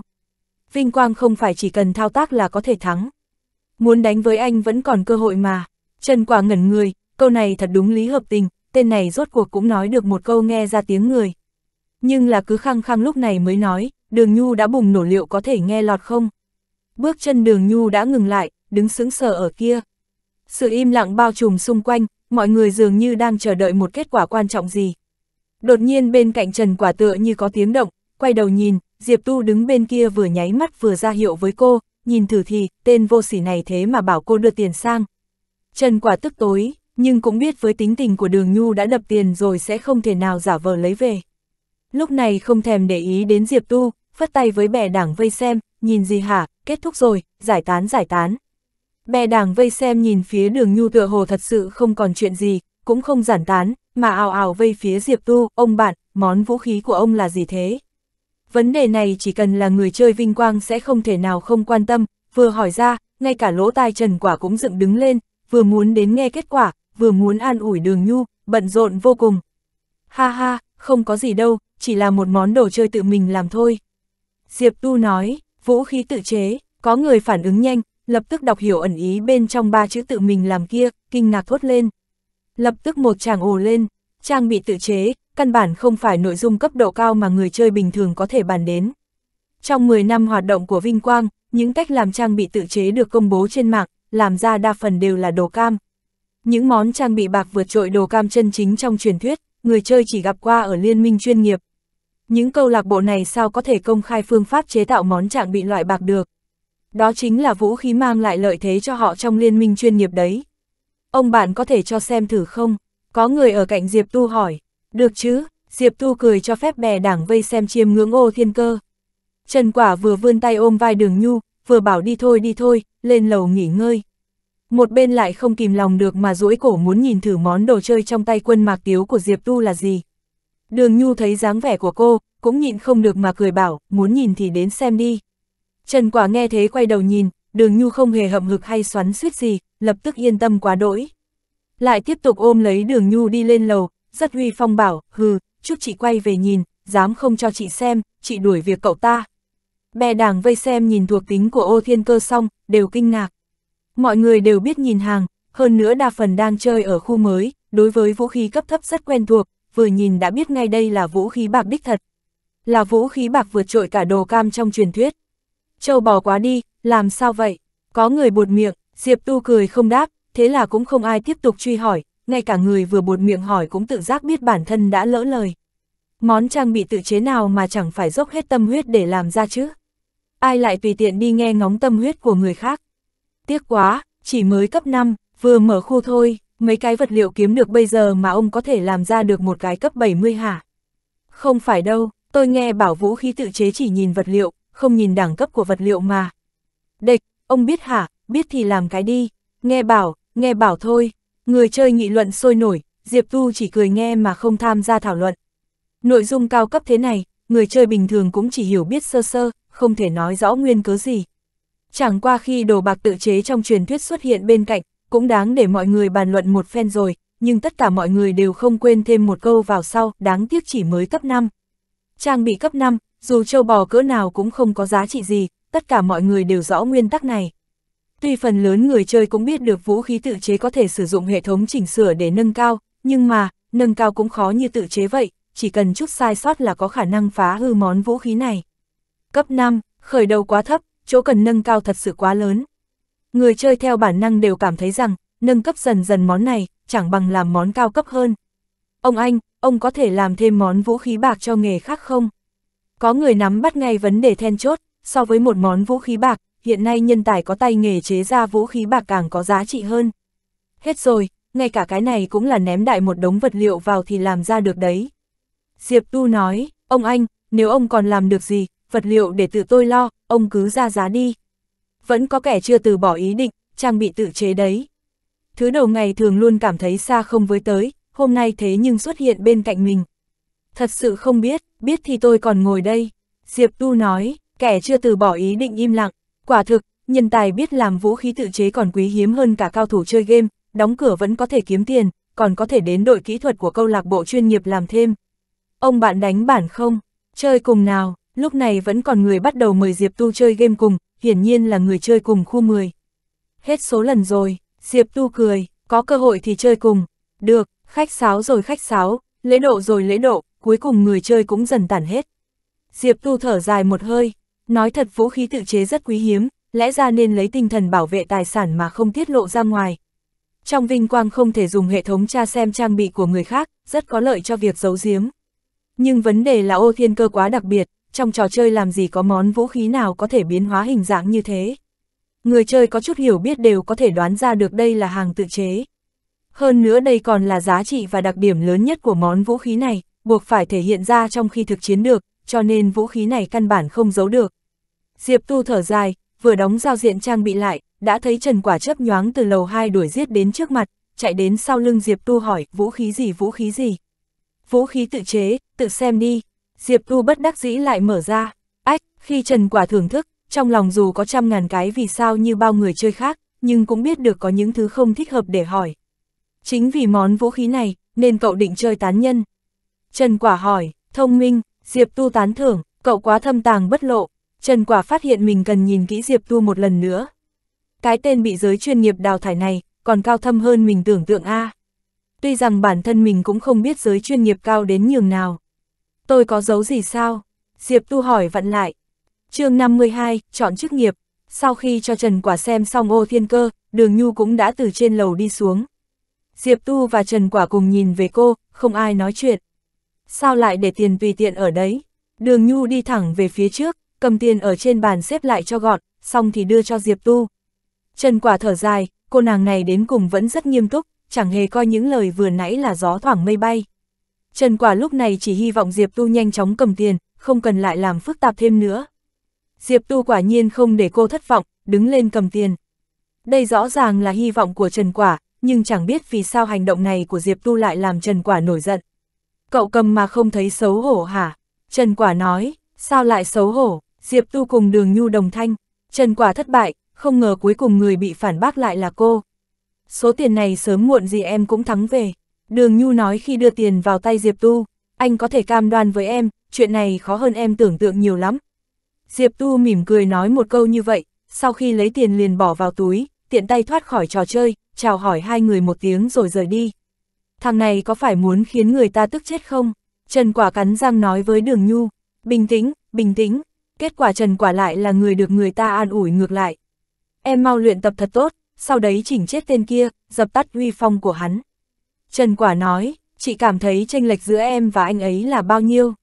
Đường Nhu hỏi Trần Quả, cái này, Trần Quả có chút đỏ mặt, tính cả Đường Nhu vẫn chưa biết chơi, những lời này chỉ có Diệp Tu mới dám nói, trong mắt Trần Quả thì Đường Nhu đã được coi là cao thủ rồi.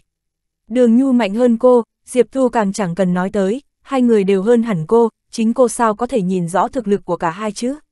Càng miễn bàn về sự tranh lệch của họ, nếu có thể đoán ra trình độ của hai người, cô sẽ không ôm theo tâm trạng vì tiện thử một ván khi giới thiệu Diệp Tu PK với Đường Nhu. Chị thật sự nhìn không ra, Trần Quả chỉ đành thừa nhận, Đường Nhu cúi đầu nhìn Trục Yên Hà vẫn chưa thoát ra trên màn hình, qua hồi lâu mới mở miệng, có lẽ anh ấy nói rất đúng, ngay cả tranh lệch ở đâu, bao nhiêu em cũng không biết được, em phải học hỏi thêm mới được. Thật ra Trần Quả đang mừng thầm trong lòng, đường nhu rốt cục cũng nảy sinh hứng thú với vinh quang như cô mong muốn rồi, không tiện thể hiện ra trên mặt, bèn phải tiếp tục nghiêm túc nói, vừa hay hôm trước vừa mở khu mới, chị đi lấy cho em một tấm thẻ tài khoản. Vâng, đường nhu nghe theo làm cho Trần Quả như mở cờ trong bụng, cô mở tiệm nét, thẻ tài khoản vinh quang hay thẻ nạp tiền cái gì cũng có, vội vã đưa cho đường nhu một cái xong thì ngồi cùng cô nàng tạo nhân vật mới. Đặt tên, vào trò chơi, nhiệm vụ của thôn tân thủ là trò đơn giản nhất trong game, nếu là ngày thường đường nhu tầm nửa phút đã vứt ngay thứ đơn giản này sang một bên, thế nhưng hôm nay lại chăm chú ngoài ý muốn, những thứ hướng dẫn cơ bản cho người mới mà Trần Quả thấy không cần phải để ý thì cô nàng lại rất nghiêm túc đọc hết. Cô nàng này rốt cuộc có hứng thú với vinh quang rồi, Trần Quả có một loại cảm giác như tu thành chính quả, nhanh chóng cùng đường nhu bàn luận về một vấn đề vô cùng quan trọng. Em muốn chơi nghề nào? Còn chưa có nghĩ ra à? Đường nhu nói, đừng vội vã quyết định, trước cấp 20 em có thể học những kỹ năng sơ cấp của tất cả các nghề, em học hết thử xem, xem mình thuận tay với chức nghiệp nào nhất. Trần Quả nói, giữ luôn thế này, tiếp tục thăng cấp mà không chuyển nghề, chính là tán nhân mà Diệp Tu chơi phải không? Đường Nhu hỏi, thằng đó chơi bậy, em đừng nên học theo. Trần Quả hoảng sợ, chơi bậy, đường Nhu không hiểu, tất cả nhân vật sau khi tới cấp 50, cần hoàn thành nhiệm vụ thức tỉnh, mới có thể tiếp tục nhận kinh nghiệm để lên cấp. Tán nhân không chuyển nghề sẽ không có nhiệm vụ thức tỉnh, thế nên tới cấp 50 sẽ không thể nào lên cấp được, cũng chính vì lý do này mà tán nhân hoàn toàn biến mất. Trần Quả nói, vừa mới nãy Diệp Tu không phải bảo hiện tại cấp 50 có thể đến thần chi lĩnh vực tiếp tục thăng cấp sao. Đường Nhu nói, chị xin em đấy, thần chi lĩnh vực ai? Cái nhiệm vụ khiêu chiến mà em từng giúp chị làm ấy, nó khó như vậy, sao một tài khoản cấp 50 có thể hoàn thành được? Trần Quả nói, vậy Diệp Tu anh ấy, thằng đó bị điên, Trần Quả tức giận trực tiếp ngắt lời đường Nhu, nếu như anh ấy có thể làm được, em lại làm không được, chẳng phải nói rõ rằng anh ấy rất mạnh sao. Đường Nhu nói, Trần Quả ngẩn người một hồi, vội vàng nói, nếu hắn làm được, em cũng có thể đi thử. Bất kỳ ai ở cấp 50 cũng có thể làm nhiệm vụ khiên chiến của thần chi lĩnh vực, chuyện đó không hề hạn chế. Còn nữa, Trần Quả nói tiếp, em nhớ vũ khí của Diệp Tu chứ? Đó mới là lý do để hắn chọn chơi tán nhân, tên kia thế mà có cả vũ khí tự chế, khu mới mới mở có hai ngày thôi đấy. Thật không biết sao hắn làm được nữa. Trần Quả vừa nói vừa nghi hoặc, đây là 10 vạn câu hỏi vì sao trong lòng cô, nhưng cô không thể không biết xấu hổ mà hỏi thẳng ra. Vũ khí tự chế, có phải loại trang bị rất lợi hại mà chị thường bảo chỉ có game thủ chuyên nghiệp mới có?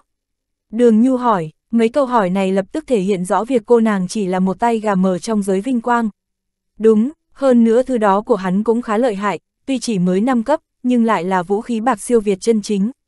Chị thấy tên này có lẽ vẫn mang ý định thăng cấp nó, nếu không thì cũng không vì một món vũ khí bạc cấp 5 mà chơi tán nhân. Trần Quả nói, vũ khí bạc được làm như thế nào? Đường Nhu hỏi,